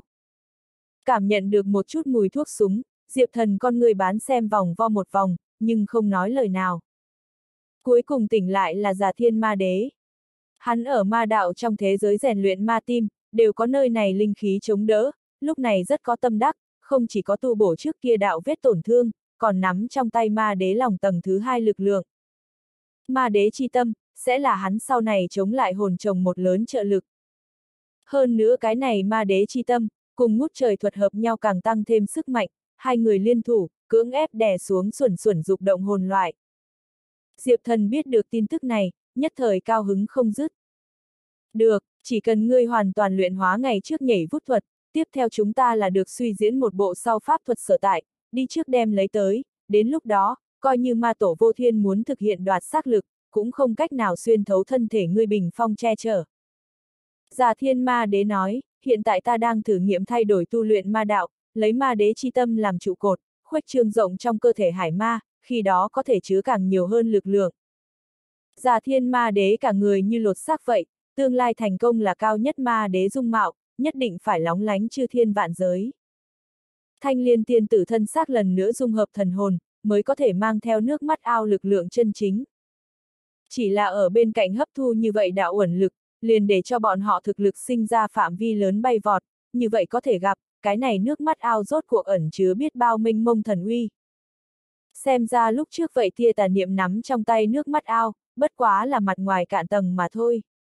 Tiêm gia tiên tử đã đem chân chính đại lộ lực đặt ở nước mắt đáy ao bộ, làm thanh liên tiên tử chân chính tỉnh lại lúc đó, liền sẽ kích hoạt tầng này cấm kỵ, đưa tới nước mắt ao lực lượng, giúp hắn khôi phục. Diệp thần hơi làm trầm tư, liền suy đoán ra trong này nguyên nhân hậu quả. Trừ cái này ra, đừng không giải thích. Như vậy có thể gặp, kiêm gia tiên tử đối với thanh liên tiên tử coi trọng, đạt tới trình độ nào. Có lẽ kiêm gia tiên tử năm đó thân tiêu đạo vẫn, cũng cùng thanh liên tiên tử sống lại vô vọng có nhất định quan hệ. Bất quá những cái kia, đều đã tan thành mây khói. Hôm nay Hồng quân lão tổ, đã đi xa tuyệt đối năm. Chư thiên vạn giới đã sớm cập nhật đổi chủ. Hơn nữa ở thái thượng thế giới, Phú Hoàng cổ đế đang nghĩ đủ phương cách, nhạt đi Hồng quân lão tổ sức ảnh hưởng. Cường giả đỉnh phong tới giữa đạo ý tranh, đã tiến vào ác liệt giai đoạn. Tôn giả rong tay trắng một chiêu, tòa kia nước mắt ao liền thoát khỏi không gian hạn chế, nhanh chóng thu nhỏ lại, hóa thành một nâng thanh tuyền, chậm rãi bay đến tôn giả rong trong tay. Cái này nước mắt ao chính là do kiêm gia tiên tử nước mắt biến thành, hàm chứa trí tình tới nghĩa. Không kém chút nào bốn đại tiên ao. Thậm chí so ra, chỉ cần còn có một giọt ao nước lưu hậu thế lúc đó, liền có thể lần nữa diễn hóa ra hoàn chỉnh nước mắt ao. Chỉ bất quá cần rất dài năm tháng thôi. Ở đó nước mắt ao đáy ao, còn trôn giấu khác biệt trí bảo thần thông. Đây là kiêm gia tiên tử năm đó hao tốn vô số tinh lực, đặc biệt là thanh liên tiên tử chế tạo mà thành khác biệt thần khí. Trong đó một cái tên là kiếm mưa trôi trên mặt nước, chính là một đạo tiên trận, lưu tại thanh liên tiên tử trên mình. Một khi thanh liên tiên tử gặp phải nguy hiểm, kiếm này mưa trôi trên mặt nước liền sẽ tự động kích hoạt, vô số cầm mịn thanh liên bảo kiếm, giống như mưa xối xả như vậy thúc xanh ra, bảo vệ quanh thân của nàng. Cho dù là 33 thiên thái thượng thần thông, cũng không cách nào trong vòng thời gian ngắn đem kích phá. Mà một cây khác chính là truyền thừa từ kiêm gia thánh địa bảo kiếm, lô bán tìm mộng. Thanh kiếm này nổi tiếng, vô cùng là yêu nhã, lời đồn đãi chính là do trên đời nhất là cao cấp luyện khí sư chế tạo mà thành, đưa vào bồng lai thánh địa, lô bán. Ở nơi đó, để cho thanh kiếm này mình đi tìm kỳ ngộ, hơn nữa sản sinh ra kiếm linh. Năm đó thanh liên tiên tử nơi cầm lô bán tìm mộng, là có kiếm linh làm bạn, chỉ bất quá sau đó vậy đạo kiếm linh, theo nàng thần hồn cùng diệt vong. Hôm nay, kiếm thai bên trong, có một đạo mới kiếm linh hồn phách đang nổi lên bên trong. Một khi kiếm linh lần nữa hạ xuống, thanh kiếm này đem sẽ hóa thân trở thành cái này cửu thiên thập địa nhất là bén sát khí một trong. Bàn về kỳ phong mang, không kém chút nào tám đại thiên kiếm. Có cái này khác biệt bảo vật tuyệt thế, tôn dạ dòng coi như là đối với khí vận vô địch huyền cơ nguyệt và một ít cường đại trưởng lão, vậy chút nào không kém. Đi thôi, nếu đã lấy được mới thân thể, nơi đây liền không thích hợp ở lâu. Diệp thần vừa nói, liền dẫn lĩnh đám người rút ra cái này phiến xu hướng tại không trọn vẹn không gian. Bây giờ huyền hải, thế cục hỗn loạn dị thường, vậy thì mặc cho các thế lực lớn giết lẫn nhau tốt lắm, cùng ngày sau hắn lại tiến vào nơi đây, ngồi ngư ông đắc lợi. Cùng lúc đó, khoảng cách cái hải vực này xa xôi chi địa, chính là Hàn Thiên Đông đất tuyết nguyên. Băng tuyết phong thành, xương giá vạn dặm, trong thiên địa quy tắc đổi được cực kỳ hỗn loạn. Tòa kia thật cao cao vút tế đàn, lại giống như đỉnh núi vậy, sừng sững không ngã, cực kỳ vững chắc hùng vĩ. Ở tòa tế đàn này phía dưới, lan tràn vô số bên trong chỗ sâu, có một cái kén phong tồn tại để trung ương. Cái này đoàn kén không biết còn có liền nhiều ít thời gian, bề ngoài ngăm đen thâm trầm, hơn nữa đầy vải phức tạp kinh văn. Mà liền vào giờ khắc này, kén đột nhiên động. Theo sau chính là lay động kịch liệt. Liền đất này để vậy cảm nhận được liền này cùng lực lượng cường hãn, một hồi run lên, trên mặt đất núi cao tuyết nguyên, lại sụp đổ chừng mấy tòa. Băng tuyết chi thành ở giữa cư dân, chính là trở nên có chút kinh hoàng, rối rít ẩn núp thoát đi. Vậy đoàn kén bên trên, vết nứt không ngừng lan tràn, từ từ chóc ra, vô cùng yêu dị lực lượng từ trong truyền ra. Trung quanh những cái kia do hắc ám quy luật nơi kết thành lưới phòng vệ, bị cái này đoàn kén trong đó nơi toát ra ngọn lửa, đốt được sạch bóng. Mà vậy như than cốc vậy kén, bắt đầu vỡ vụn, lộ ra bên trong ám trầm bóng người. Hoặc là nói ngủ say vào trong đó, chưa tính là người. Hắn cả người nám đen, sức sống gần như hoàn toàn không có. Nhưng là cũng không lâu lắm, tầng kia đen nhánh than cốc bắt đầu vỡ vụn. Một cái hàm chứa mạnh mẽ sức mạnh to lớn thân thể, từ trong lột xác ra. Còn dư lại những cái kia than cốc thân xác chính là giấy lên khó hiểu ngọn lửa. Tất cả đau đớn cùng bã rượu, đều bị cùng nhau đốt. Mà bóng người kia thân thể chính là toát ra ám trầm, nhưng lại ánh sao lấm tấm ánh sáng. Chư thiên quy tắc ở hắn trên thân hình quấn quanh, đối kháng, tóe ra sấm sét mang. Khí tức vô cùng cường đại lộ ra ra, từ lòng đất đi lên lan tràn, thẳng đến cuốn sạch toàn bộ băng tuyết chi thành. Hoặc là nói cường đại thần niệm bay vào thương khung, quan sát đóng băng tuyết nguyên, tất cả thế lực cùng với chủng tộc cũng làm sợ hãi. Thánh băng nhất tộc tộc trưởng cảm nhận được liền cái này tia khí tức, nhất thời mừng rỡ khôn kể xiết. Bởi vì điều này đại biểu, kiêm gia thánh tử xuất quan. Hơn nữa thực lực đổi được so với trước đó cường đại hơn. Hiển nhiên khôi phục rất nhiều. Thánh băng tộc trưởng lập tức mang một đám trưởng lão, đi lòng đất tế đàn chỗ sâu. Kiêm gia thánh tử đã đổi lại cả người áo bào đen, ngồi một mình tại trên ngai vàng, hắn đưa lưng về phía cửa, đám người không thấy rõ hắn trong bóng tối biểu tình trên mặt. Cung nghênh thánh tử xuất quan, thật đáng mừng. Thánh băng tộc trưởng cúi người chào. Ừ, gần đây nhưng có xảy ra chuyện lớn. Kiêm gia thánh tử không mặn không lạt hỏi.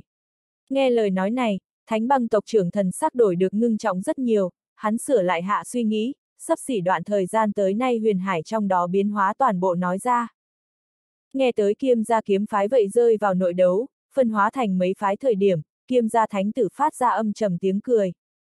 Nhìn các nàng cái này chó cắn chó dáng vẻ, bản thánh tử rất là vui vẻ yên tâm. Kiêm gia thánh tử năm đó là bị trục xuất tông môn, hơn nữa còn ở kiêm gia thần kiếm dưới quyền gặp phải tổn thương nặng. Nếu không phải bởi vì có lợi ích cấu kết, hắn tài sẽ không cùng kiêm gia kiếm phái hợp tác, hận không được những tên kia toàn bộ chết sạch liền tốt. Người đi xuống chuẩn bị một chút đi, hiện tại huyền hải bên trong quy tắc đổi được càng ngày càng hỗn loạn, các người cái này nhất mạch, cũng là thời điểm tái hiện thế gian. Kiêm gia thánh tử chậm rãi nói. Nghe nói như vậy, thánh băng tộc trưởng cùng với một đám trưởng lão cũng kích động có phải hay không?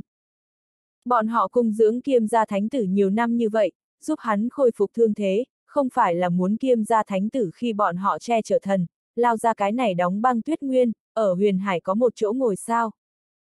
Cần tuân thánh tử mệnh lệnh, ba ngày sau, băng tuyết nhất tộc là được toàn quân lên đường, tiến quân huyền hải, dương thánh tử thần uy. Dương thánh tử thần uy. Dương thánh tử thần uy. Những cái kia thánh băng nhất tộc trưởng lão dối rít quỳ xuống, thần sắc cuồng nhiệt, giọng thành kính. Kiêm gia thánh tử dơ dơ lên tay, tỏ ý bọn họ lui ra. Không cần như vậy khoa trương, chẳng qua là được cái mình muốn thôi, nhớ, ba ngày sau lên đường. Ưm. Kiêm gia thánh tử từ lần trước sau khi chiến đấu, liền lâm vào bế quan trạng thái. Hắn từ buộc là kén, giam ở trong đó cảm ngộ ma đạo, rốt cục thì có đột phá. Hắn bây giờ, đã khôi phục năm xưa 80% thực lực, nếu như lần nữa trở lại kiêm gia kiếm phái, trừ ra vậy mấy tên lão ra ra, không người là hắn đối thủ. Ta mất đi, cũng muốn đích thân đoạt trở lại. Hắn trong mắt, phun trào ra hừng hực sát ý, có thể cuốn sạch thiên địa, đem nguyên phiến hư không cháy hết. Hắn bây giờ mới tự phá kén trạng thái tỉnh lại, cần đem tự thân ma đạo quy luật tăng lên tới đỉnh cấp. Bất quá ngay tại hắn nhắm mắt không bao lâu, giống như là cảm ứng được cái gì, thông suốt mở ra hai tròng mắt, còn người đèn nhánh u quang, xuyên phá liền thiên địa, thẳng tới vậy thương khung chỗ sâu. Nơi đó có một cổ kinh khủng lực lượng đang hồi phục. Không, đây tuyệt đối không thể nào. Kiêm gia thánh tử chợt một tí từ ngai vàng đứng lên, trực tiếp xé trước mặt hư không, một khắc sau xuất hiện ở băng tuyết chi thành bên ngoài. Băng xương đầy trời, bông tuyết bay dương. Băng phong tuyết nguyên từ trước đến giờ là loại khí trời này, nhưng lúc này, lại để cho kiêm gia thánh tử cảm nhận được liền lạnh lẽo thấu xương. Hắn đã lâm vào sâu đậm rung động trong đó, qua hồi lâu, trong mắt tài dần dần khôi phục trong sạch. Đó là, thanh liên hơi thở, nhưng là tuyệt đối không thể nào. Thanh liên năm đó nhưng mà hoàn toàn tử vong, ta nhìn tận mắt, cho dù là kiêm gia tiên tử đem nàng phong tích chữ, vậy cũng chỉ là cái băng thi mà thôi, tuyệt không khả năng hồi phục. Kiêm gia thánh tử mất đi những ngày qua kiêu căng phách lối, lúc này giống như là một như người điên lầm bầm lầu bầu. Lời kia trong đó, cất giấu một chút liền chính hắn cũng không từng phát giác sợ hãi. Lầm bầm chốc lát sau, hắn trong mắt lần nữa hiện ra một màn điên cuồng ý. Hắn vốn đang chuẩn bị dẫn thánh băng nhất tộc lao ra cái này cánh đồng tuyết, giết ra một phen thiên địa, tiếp đó tiếp thu càng cường đại hơn tín ngưỡng lực để đề thăng tu vi. Nhưng bây giờ nhìn lại, tựa hồ đã lúc không thể đợi. Thanh liên tiên tử, chính là hắn khi còn sống địch, coi như là những thứ khác thần hồn dung nhập vào thanh liên thân, lần nữa sống lại, vậy cũng sẽ thừa kế thanh liên tiên tử toàn bộ thần thông cùng với trí nhớ. Đến lúc đó, mới tinh thanh liên tiên tử như cũ sẽ giết đến cửa. Hắn mặc dù tự xưng là mạnh mẽ, nhưng ở thanh liên tiên tử trước mặt, còn lưu lại một phần tự mình hiểu lấy. Nếu như thanh liên tiên tử thật khôi phục tới trạng thái tột cùng, vậy 10 cái hắn cũng không là đối phương nhất kích địch. Hôm nay đối phương hẳn vẫn chưa tới đỉnh cấp, đây là cơ hội. Kiêm gia thánh tử quay đầu, thật sâu liếc nhìn tòa kia sừng sững ở băng nguyên bên trong băng tuyết chi thành, giờ phút này, thánh băng tộc trưởng cùng tất cả đại trưởng lão đang triệu tập trong tộc tinh anh, chuẩn bị trinh phạt ngoại giới. Trong thành các chiến sĩ ý chí chiến đấu sôi sục, khí thế ngất trời. Vốn là muốn cho các ngươi sống lâu mấy ngày, nhưng là tình huống bây giờ có biến, chỉ có thể trước thời hạn ủy khuất các ngươi. Kiêm gia thánh tử vừa nói, lộ ra một bàn tay, ở đó lòng bàn tay, có một cái sâu không thấy đáy hắc động, chậm rãi thành hình. Hắc ma thần công, chiếm đoạt vạn đạo. Trên mặt hắn, lộ ra lau một cái nụ cười tàn nhẫn, Oanh! Ngoài trăm dặm, vô số băng sơn nổ thành bụi phấn. Băng tuyết chi thành trong đó mọi người nghe được này cùng vang động, sửng sốt một cái chớp mắt, ngay sau đó, liền gặp được ngập trời băng tuyết nước lũ, ước chừng cuốn lên vạn trượng cao, hướng bọn họ bao trùm tới, che khuất bầu trời, vô cùng vô tận, giống như ngày tận thế hạ xuống. Có chút thành băng tuyết ở giữa cường giả, thần sắc kịch biến, nhanh chóng ra tay, chung nhau bảo vệ bao phủ ở thành trì phía trên phòng ngự trận. Cũng có thân ở địa vị cao trưởng lão phất tay áo hử lạnh, bay lên trời cao, bọn họ ngược lại là muốn xem xem, ở kiêm gia thánh tử dưới che chở, có ai dám đối thánh băng nhất tộc động thủ. To gan cuồng đồ, chúng ta nhất tộc chính là có thánh tử đại nhân che chở, há cho các ngươi ở chỗ này càn rỡ. Thánh băng nhất tộc đại trưởng lão tiếng chuyện ngàn dặm, uy chấn bát phương. Lòng hắn bên trong một chút đều không hoảng, coi như đối thủ cường đại hơn bọn họ, cuối cùng cũng sẽ bị thánh tử đại nhân đồng phục. Những trưởng lão này dối rít ra mặt tới, liền tộc trưởng cũng không thèm để ý chút nào, mệnh lệnh các tộc nhân tiếp tục tất cả được tất cả chuyện. Bốn phương hướng, đều có băng tuyết liệu nguyên, mãnh liệt tới, đem chỗ tòa này trên bình nguyên băng tuyết thành lớn hoàn toàn bao vây. Thế nhưng chút băng tuyết gió bão giống như là động lại vậy, chỉ bao vây, nhưng không động thủ. Những trưởng lão kia thả ra lời độc ác sau đó, trong lòng cảm thấy kỳ quái. Kiêm gia thánh tử vì sao còn không ra mặt, địch nhân trước mắt, cũng không phải là bọn họ nhất tộc có thể đối phó được. Đang khi bọn họ nghi ngờ lúc đó, vậy bão tuyết sau lưng, có một người chậm rãi đi ra, tại trên bầu trời đạp phải, như dẫm trên đất bằng. Làm trong thành người thấy rõ người kia hình dáng sau đó, nhất thời vạn phần kinh hoàng. Không ít người dối rít quay đầu, nhìn về phía tạo ở thành trì trung ương pho tượng kia. Thánh, thánh tử đại nhân. Đúng là thánh tử đại nhân, lớn lên giống nhau như đúc, nhưng thánh tử đại nhân vì sao phải vây công chúng ta? Không biết à, chẳng lẽ là có người giả mạo thánh tử đại nhân? Thành băng tuyết bên trong, tiếng nghị luận nổi lên bốn phía. Thánh băng tổ trưởng sắc mặt hoàn toàn cứng lại, hắn thật sự là không nghĩ ra, vì vậy phi thăng lên, đi tới giữa không trung, mở miệng hỏi nói, thánh tử đại nhân, nhưng mà đang thí nghiệm loại nào đó mới công pháp. Kiêm gia thánh tử cười không nói, ánh mắt ý sâu dài. Thánh băng tộc trưởng trong lòng nhất thời lột bột một tiếng, hắn cố đè xuống phần kia kinh hoàng, tiếp tục cười xòa. Thánh tử đại nhân nếu không chê, chúng ta mấy lão già này, cũng có thể đảm nhiệm ngài cái bia, bất quá còn chưa muốn hù dọa cư dân trong thành. Kiêm gia thánh tử mong xuống phía dưới, băng tuyết chi thành bên trong có chừng mấy trăm ngàn cư dân, hẳn đủ chống đỡ hắn giết chết mới vừa làm việc lại thanh liên tiên tử. Các ngươi lại cuối cùng giúp ta làm một chuyện, kiêm gia thánh tử mở miệng nói. Thánh tử mời nói. Thánh băng tộc trưởng lui về tới thành trì trong đó, nhưng đối với thủ hạ hai nhân viên đại tướng nháy mắt. Vậy cùng ý là sự việc không ổn, chuẩn bị chạy trốn. Giúp ta, lấp no bụng. Kiêm gia thánh tử, tuét miệng cười một tiếng, khóe miệng nứt ra đến hàm răng, lộ ra vậy một hàng bén răng nhọn. Hắn lúc này, đã không thuộc mình, mà là nửa người nửa ma. Thấy một màn này người, dối rít hoảng sợ không thôi. Kiêm gia thánh tử giơ bàn tay lên, vô cùng hấp lực bộc phát ra, nhất thời, mấy ngàn tên tụ tập ở chính giữa quảng trường băng tộc chiến sĩ bị hút, cường đại dính dấp lực, kéo bọn họ, toàn bộ tiến vào vòng xoáy kia trong đó. Một khi tiến vào bên trong, chờ đợi bọn họ vận mệnh chính là bị khuấy thành bụi phấn, trở thành kiêm gia thánh tử thể xác chất dinh dưỡng. Toàn bộ băng tuyết chi thành, nhất thời loạn thành một đoàn. Mấy tên binh chốt trưởng lão sững sờ nhưng chỉ chốc lát sau, có bị chọc tức, cũng có sợ hãi không dứt. Thánh băng tộc trưởng cả người run rẩy, hắn chừng mắt trợn tròn, giơ tay lên chỉ kiêm gia thánh tử, không khỏi tức miệng mắng to. Người cái này vòng ân phụ nghĩa xúc sinh, ta thánh băng nhất tộc đem ngươi cung dưỡng, giúp ngươi chữa thương, vì ngươi cung cấp vô số tài nguyên, mà ngươi nhưng ngược lại ân đền oán trả. Ngươi muốn bị trời phạt. Đối với này cùng tức giận mắng, kiêm gia thánh tử không có động tính. Ở hắn trong mắt xem ra, chỉ có lực lượng mới là trí cao vô thượng, những thứ đồ khác đều là mây trôi. Ha ha, ta còn thật phải cảm ơn cảm ơn các ngươi nhất tộc, yên tâm, chờ ta thống trị huyền hải sau đó, nhất định sẽ vì các ngươi nhất tộc lập một khối phong bi, hơn nữa vạch ra lãnh địa, đến lúc đó, cũng coi là tròn các ngươi lao ra cái này phiến băng nguyên nguyện vọng. Kiêm gia thánh tử một phen, để cho tất cả mọi người đều như rớt vào hầm băng. Bọn họ tuyệt đối không nghĩ tới, ngàn năm qua nơi cung phụng thần, bản chất lại là một đầu chó sói. Hơn nữa còn là một đầu cường đại đến đủ để chiếm đoạt hết thảy chó sói. Thánh băng tộc trưởng thống khổ nhắm hai mắt lại. Đầu này chó sói, là hắn dẫn tiến vào. Ban đầu hắn dã tâm bừng bừng, muốn sáng lập một cái mới vương triều, liền đón nhận cái này trọng thương người, mượn hắn lực lượng tới đạt thành mục đích. Ai có thể nghĩ, lấy ấm áp nuôi rắn, cuối cùng lại bị rắn cho nuốt lấy. Thánh băng tộc trưởng thống khổ nhắm hai mắt lại, mà kèm theo tới chính là một cổ ngất trời khí thức cuồng bạo, ngay tức thì đem mảnh thiên địa này che giấu. Toàn bộ băng tuyết chi thành mấy trăm ngàn dân chúng, ở nơi này khí thức cuồng bạo cuộn sạch dưới, nhất thời hóa là một tôn cái tượng đá.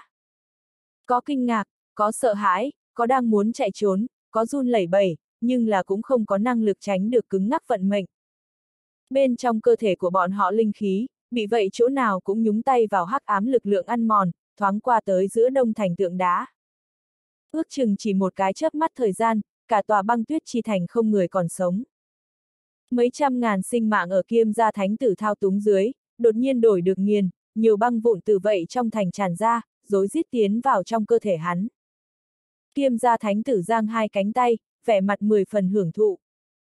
Làm những cái kia băng vụn vào cơ thể sau đó, hắn thực lực lấy mắt thường có thể thấy được tốc độ chợt tăng, nhanh chóng đạt tới đỉnh cấp, thậm chí còn có đi lên khuynh hướng đột phá.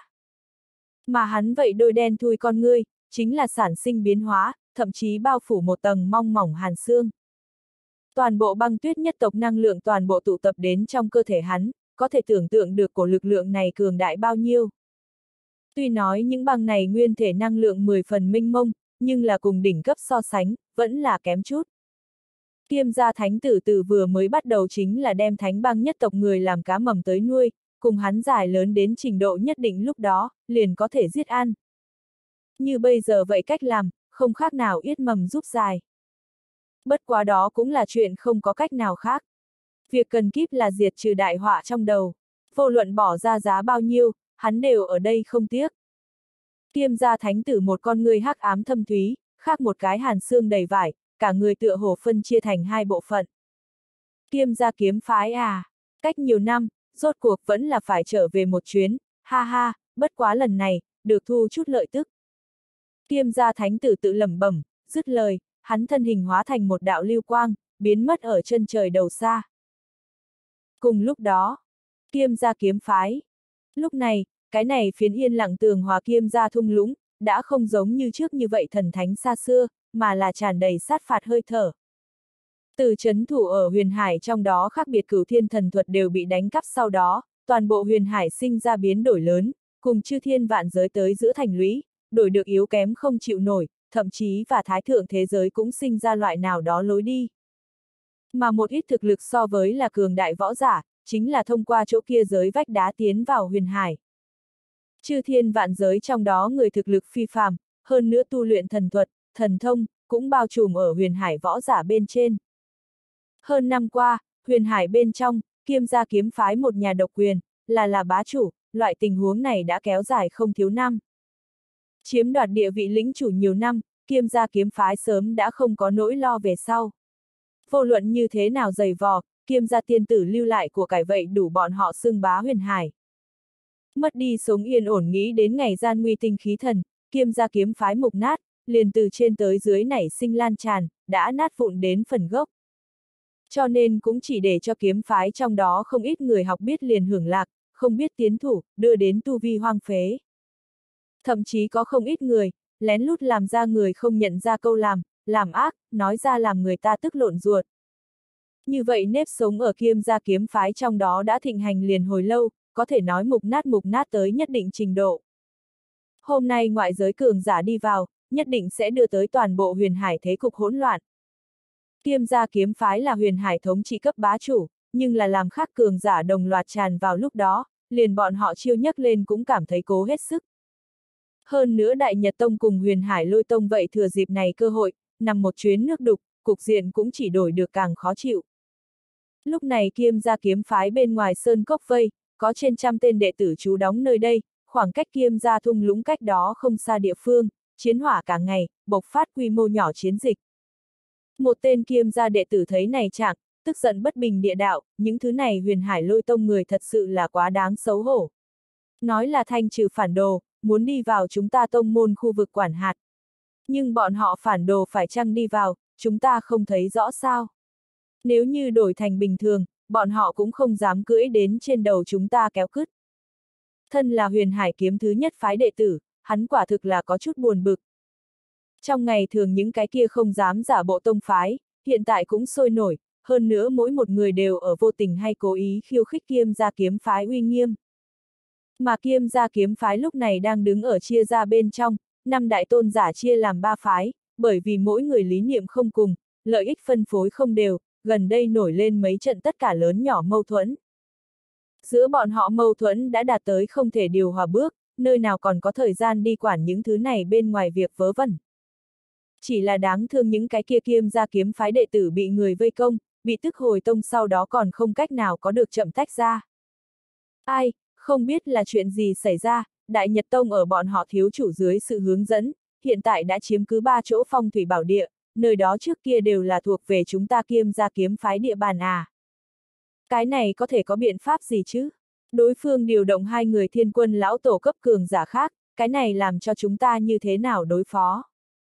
Những đệ tử này từng cái mặt mày ủ rột, trong lòng cực kỳ buồn giàu, bọn họ vốn là cao cao tại thượng, vô luận đi tới huyền hải kia chỗ địa phương, cũng sẽ thu hoạch những tông môn khác hâm mộ mà ánh mắt kính sợ.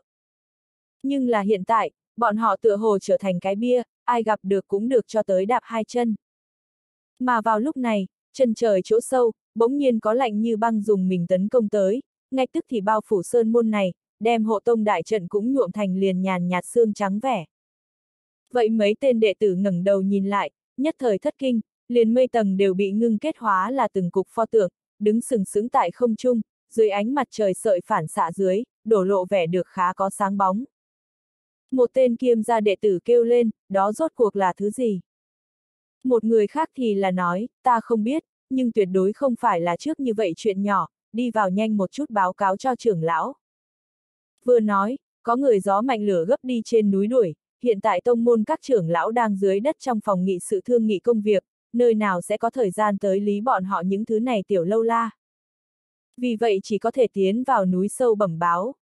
Bất quá tên đệ tử kia chạy đến một nửa, bước chân liền dừng lại, bởi vì hắn cả người đã hóa thành một cái tượng đá, cơ hồ là ở trong chớp mắt, là được như vậy hình dáng.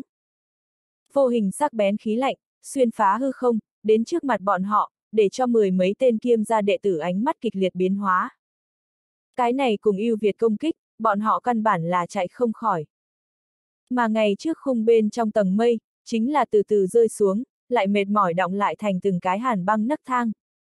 Ở đó bầu trời hàn băng chỗ sâu, có một đạo bóng người chậm rãi đi tới, hắn quần áo trắng như tuyết, khí chất phi phàm, gương mặt tuấn tú yêu tả, khóe mắt mang theo một chút quỷ dị đen nhánh màu mực. Giờ phút này hắn đang cất bước đi tới, hạ xuống ở kiêm gia kiếm phái thung lũng trước cửa. Ngươi, ngươi là ai? Có đệ tử không khỏi lấy can đảm hỏi. Kiêm gia thánh tử cười không nói, hắn đánh giá hoàn cảnh chung quanh, núi xanh nước trong, linh khí dư thừa, còn có không thiếu chủng loại linh thú, vậy sinh tồn ở nơi này gian trong núi rừng. Kiêm gia thánh tử, không khỏi tưởng nhớ xúc động, năm đó ta ở chỗ này lúc tu luyện, linh khí cũng không cũng như này sung túc, hơn nữa rất nhiều cung điện vậy còn không xây, sùng bái là là đại đạo trí giản. Hiện tại thăm các người những người này, thật là càng ngày càng chú trọng bề ngoài hư vinh, mà bỏ quên vô cực ma đạo trung cực nghĩa sâu xa. Có đệ tử rất hoảng sợ, lúc này đặt câu hỏi. Ngươi là kiêm gia kiếm phái đệ tử, lại có thể đối với ta kiêm gia kiếm phái như vậy quen thuộc. Diệp thần lắc đầu một cái. Ta trước kia là vậy, nhưng bây giờ không phải là, sau này vậy tuyệt không khả năng là. Nghe lời nói này, vậy mấy tên tiên gia đệ tử liếc mắt nhìn nhau, dối rít cảm thấy không tưởng tượng nổi. Kiêm gia thánh tử cười một tiếng, nói tiếp các ngươi gặp qua vĩnh hằng sao. Hắn câu này không đầu không đuôi nói, để cho tại chỗ trên trăm tên đệ tử đều cảm thấy nghi hoặc. Chưa từng thấy nói, hiện tại là có thể gặp được. Kiêm gia thánh tử, cười giơ bàn tay lên, thổi một hơi, nhàn nhạt hàn băng lực đi về trước phiêu tán, trong chớp mắt liền ngay tức thì bạo tăng. Những người đó còn chưa phản ứng kịp, liền bị nhỏ vụn băng hàn lực phất qua, cả thân mỗi một chỗ tế bào cũng đông thành băng. Phịch, Ngay sau đó rào một tí, vỡ vụn thành tiết, rối rít bay vào kiêm gia thánh tử thân thể bên trong. Các ngươi trở thành trên người ta năng lượng, chuyên tâm phụ tá tại ta, đây cũng là làm chứng vĩnh hằng. Kiêm gia thánh tử mặt đầy say mê, tự nhủ. Cách đó không xa, đang có trưởng lão dẫn đệ tử chạy tới, bọn họ chính mắt thấy một màn này.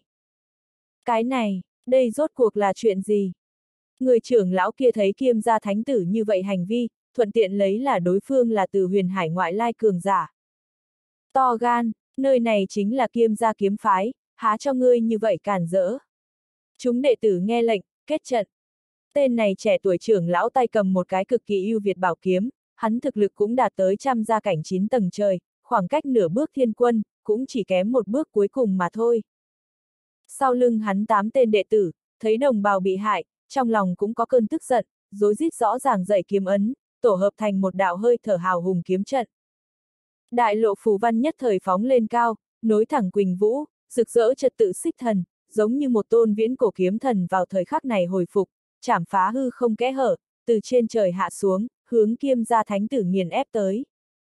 Tám người tạo thành kiếm trận, đơn giản có lực, có thể trong vòng thời gian ngắn ngưng tụ vô cùng là rộng rãi kiếm ý. Mà kiếm kia đạo hơi thở vô cùng hừng hực, thậm chí so với chư thiên dị hỏa mà nói, cũng cực kỳ đáng sợ. Vậy đạo kiếm trận bên trên, có tiên khí quấn quanh, quy tắc đầy trời, giống như thác nước vậy chiếu nghiêng xuống.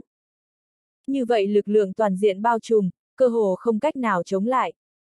Chỉ là kiếm trận đạo tác lực, liền hiện ra kiêm ra kiếm phái nội tình, như vậy nhanh chóng có lực thiên kiếm phương trận, tông môn tầm thường căn bản không cách nào bồi dưỡng ra.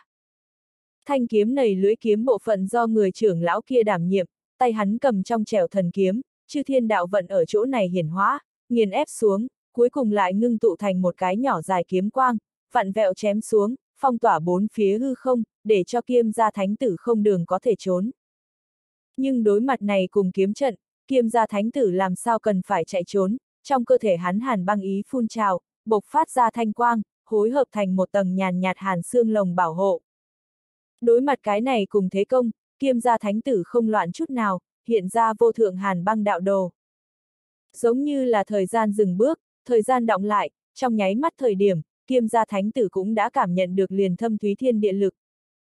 Kiêm gia kiếm phái quả nhiên là ngộ đạo địa phương tốt, ước chừng tới mấy phút mà thôi, cũng đã cảm nhận được liền trong cơ thể lực lượng sôi trào, biết bao cảm giác tuyệt vời à. Kiêm gia thánh tử không khỏi hít vào một hơi thật dài, thong thả thở dài nói. Một khắc sau, đợi hắn mở ra hai tròng mắt lúc đó, vậy đối với con người chỗ sâu, có hai cây hàn băng thần kiếm bất ngờ thành hình, bắn ra, lặng yên không một tiếng động đâm xuyên qua vậy đạo vắt ngang ở trong thiên địa kiếm trận. Hắn chỉ là vận dụng hàn băng ma gai thủ đoạn, liền để cho vậy tám tên đệ tử thân hình lảo đảo muốn rơi xuống, hoàn toàn không nhịn được. Phịch đích một tiếng, giống như trời long đất lở, một bó lại một thuốc băng gai, ầm ầm tách thả ra, giống như là núi lửa vậy bùng nổ, vô tận băng xương, đem kiếm trận này hoàn toàn đông lại. Bị đông cứng ở trong đó, còn có những cái kia kiêm ra kiếm phái đệ tử. Muốn phản kháng ta, sợ rằng các ngươi còn kém một chút công phu. Kiêm gia thánh tử đem những băng xương kia toàn bộ thu hồi lại, vậy cắn nuốt bị phong ấn người máu thịt. Trên người hắn loáng thoáng hiện ra máu màu đỏ quản. Một khắc sau, hắn ánh mắt thiếu nhìn phương xa, toàn bộ kiêm gia kiếm cốc đều ở đây hắn nắm giữ bên trong.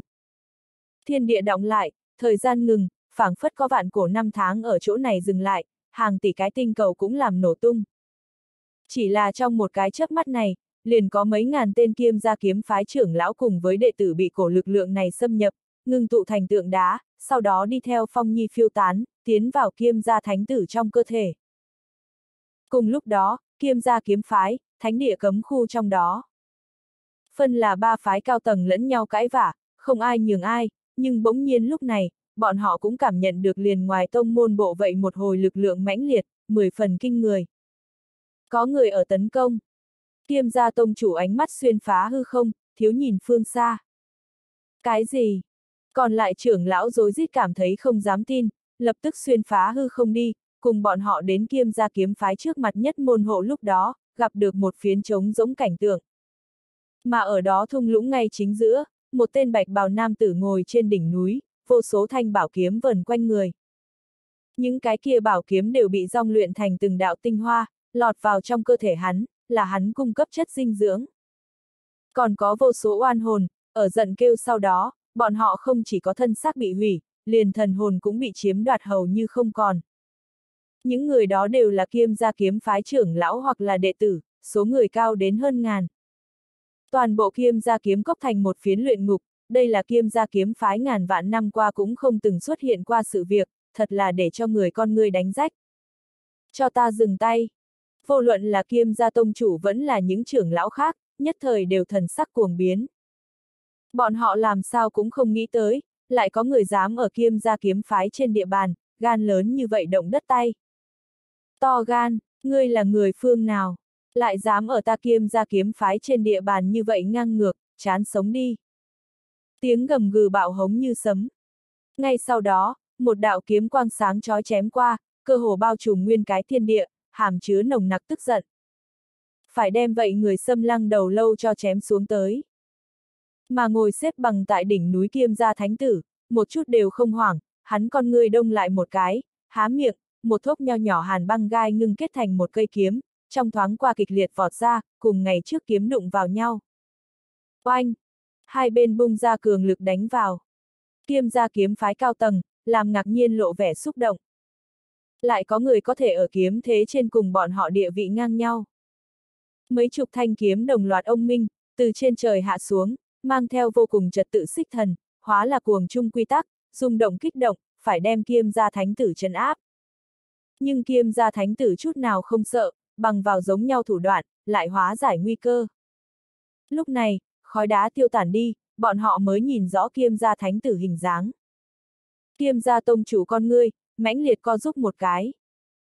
Vậy mấy tên thái thượng trưởng lão diễn cảm giống như vậy, người trước mặt, các nàng nhưng mà không thể quen thuộc hơn nữa. Kiêm gia thánh tử. Tên này bị coi là từ trước tới nay mạnh nhất dịch tả người, liền vậy vừa đảm nhiệm kiêm gia tông chủ đều không cách nào đem hoàn toàn giết chết, chỉ có thể tập hợp đám người lực, cầm hắn phong ấn đến vậy tràn đầy vô giới hạn tuyết nguyên trong đó. Nhưng hiện tại hắn lại có thể lại lần nữa trở về, làm sao không làm người ta khiếp sợ. Audio điện tử võ tấn bền. Hết tập 360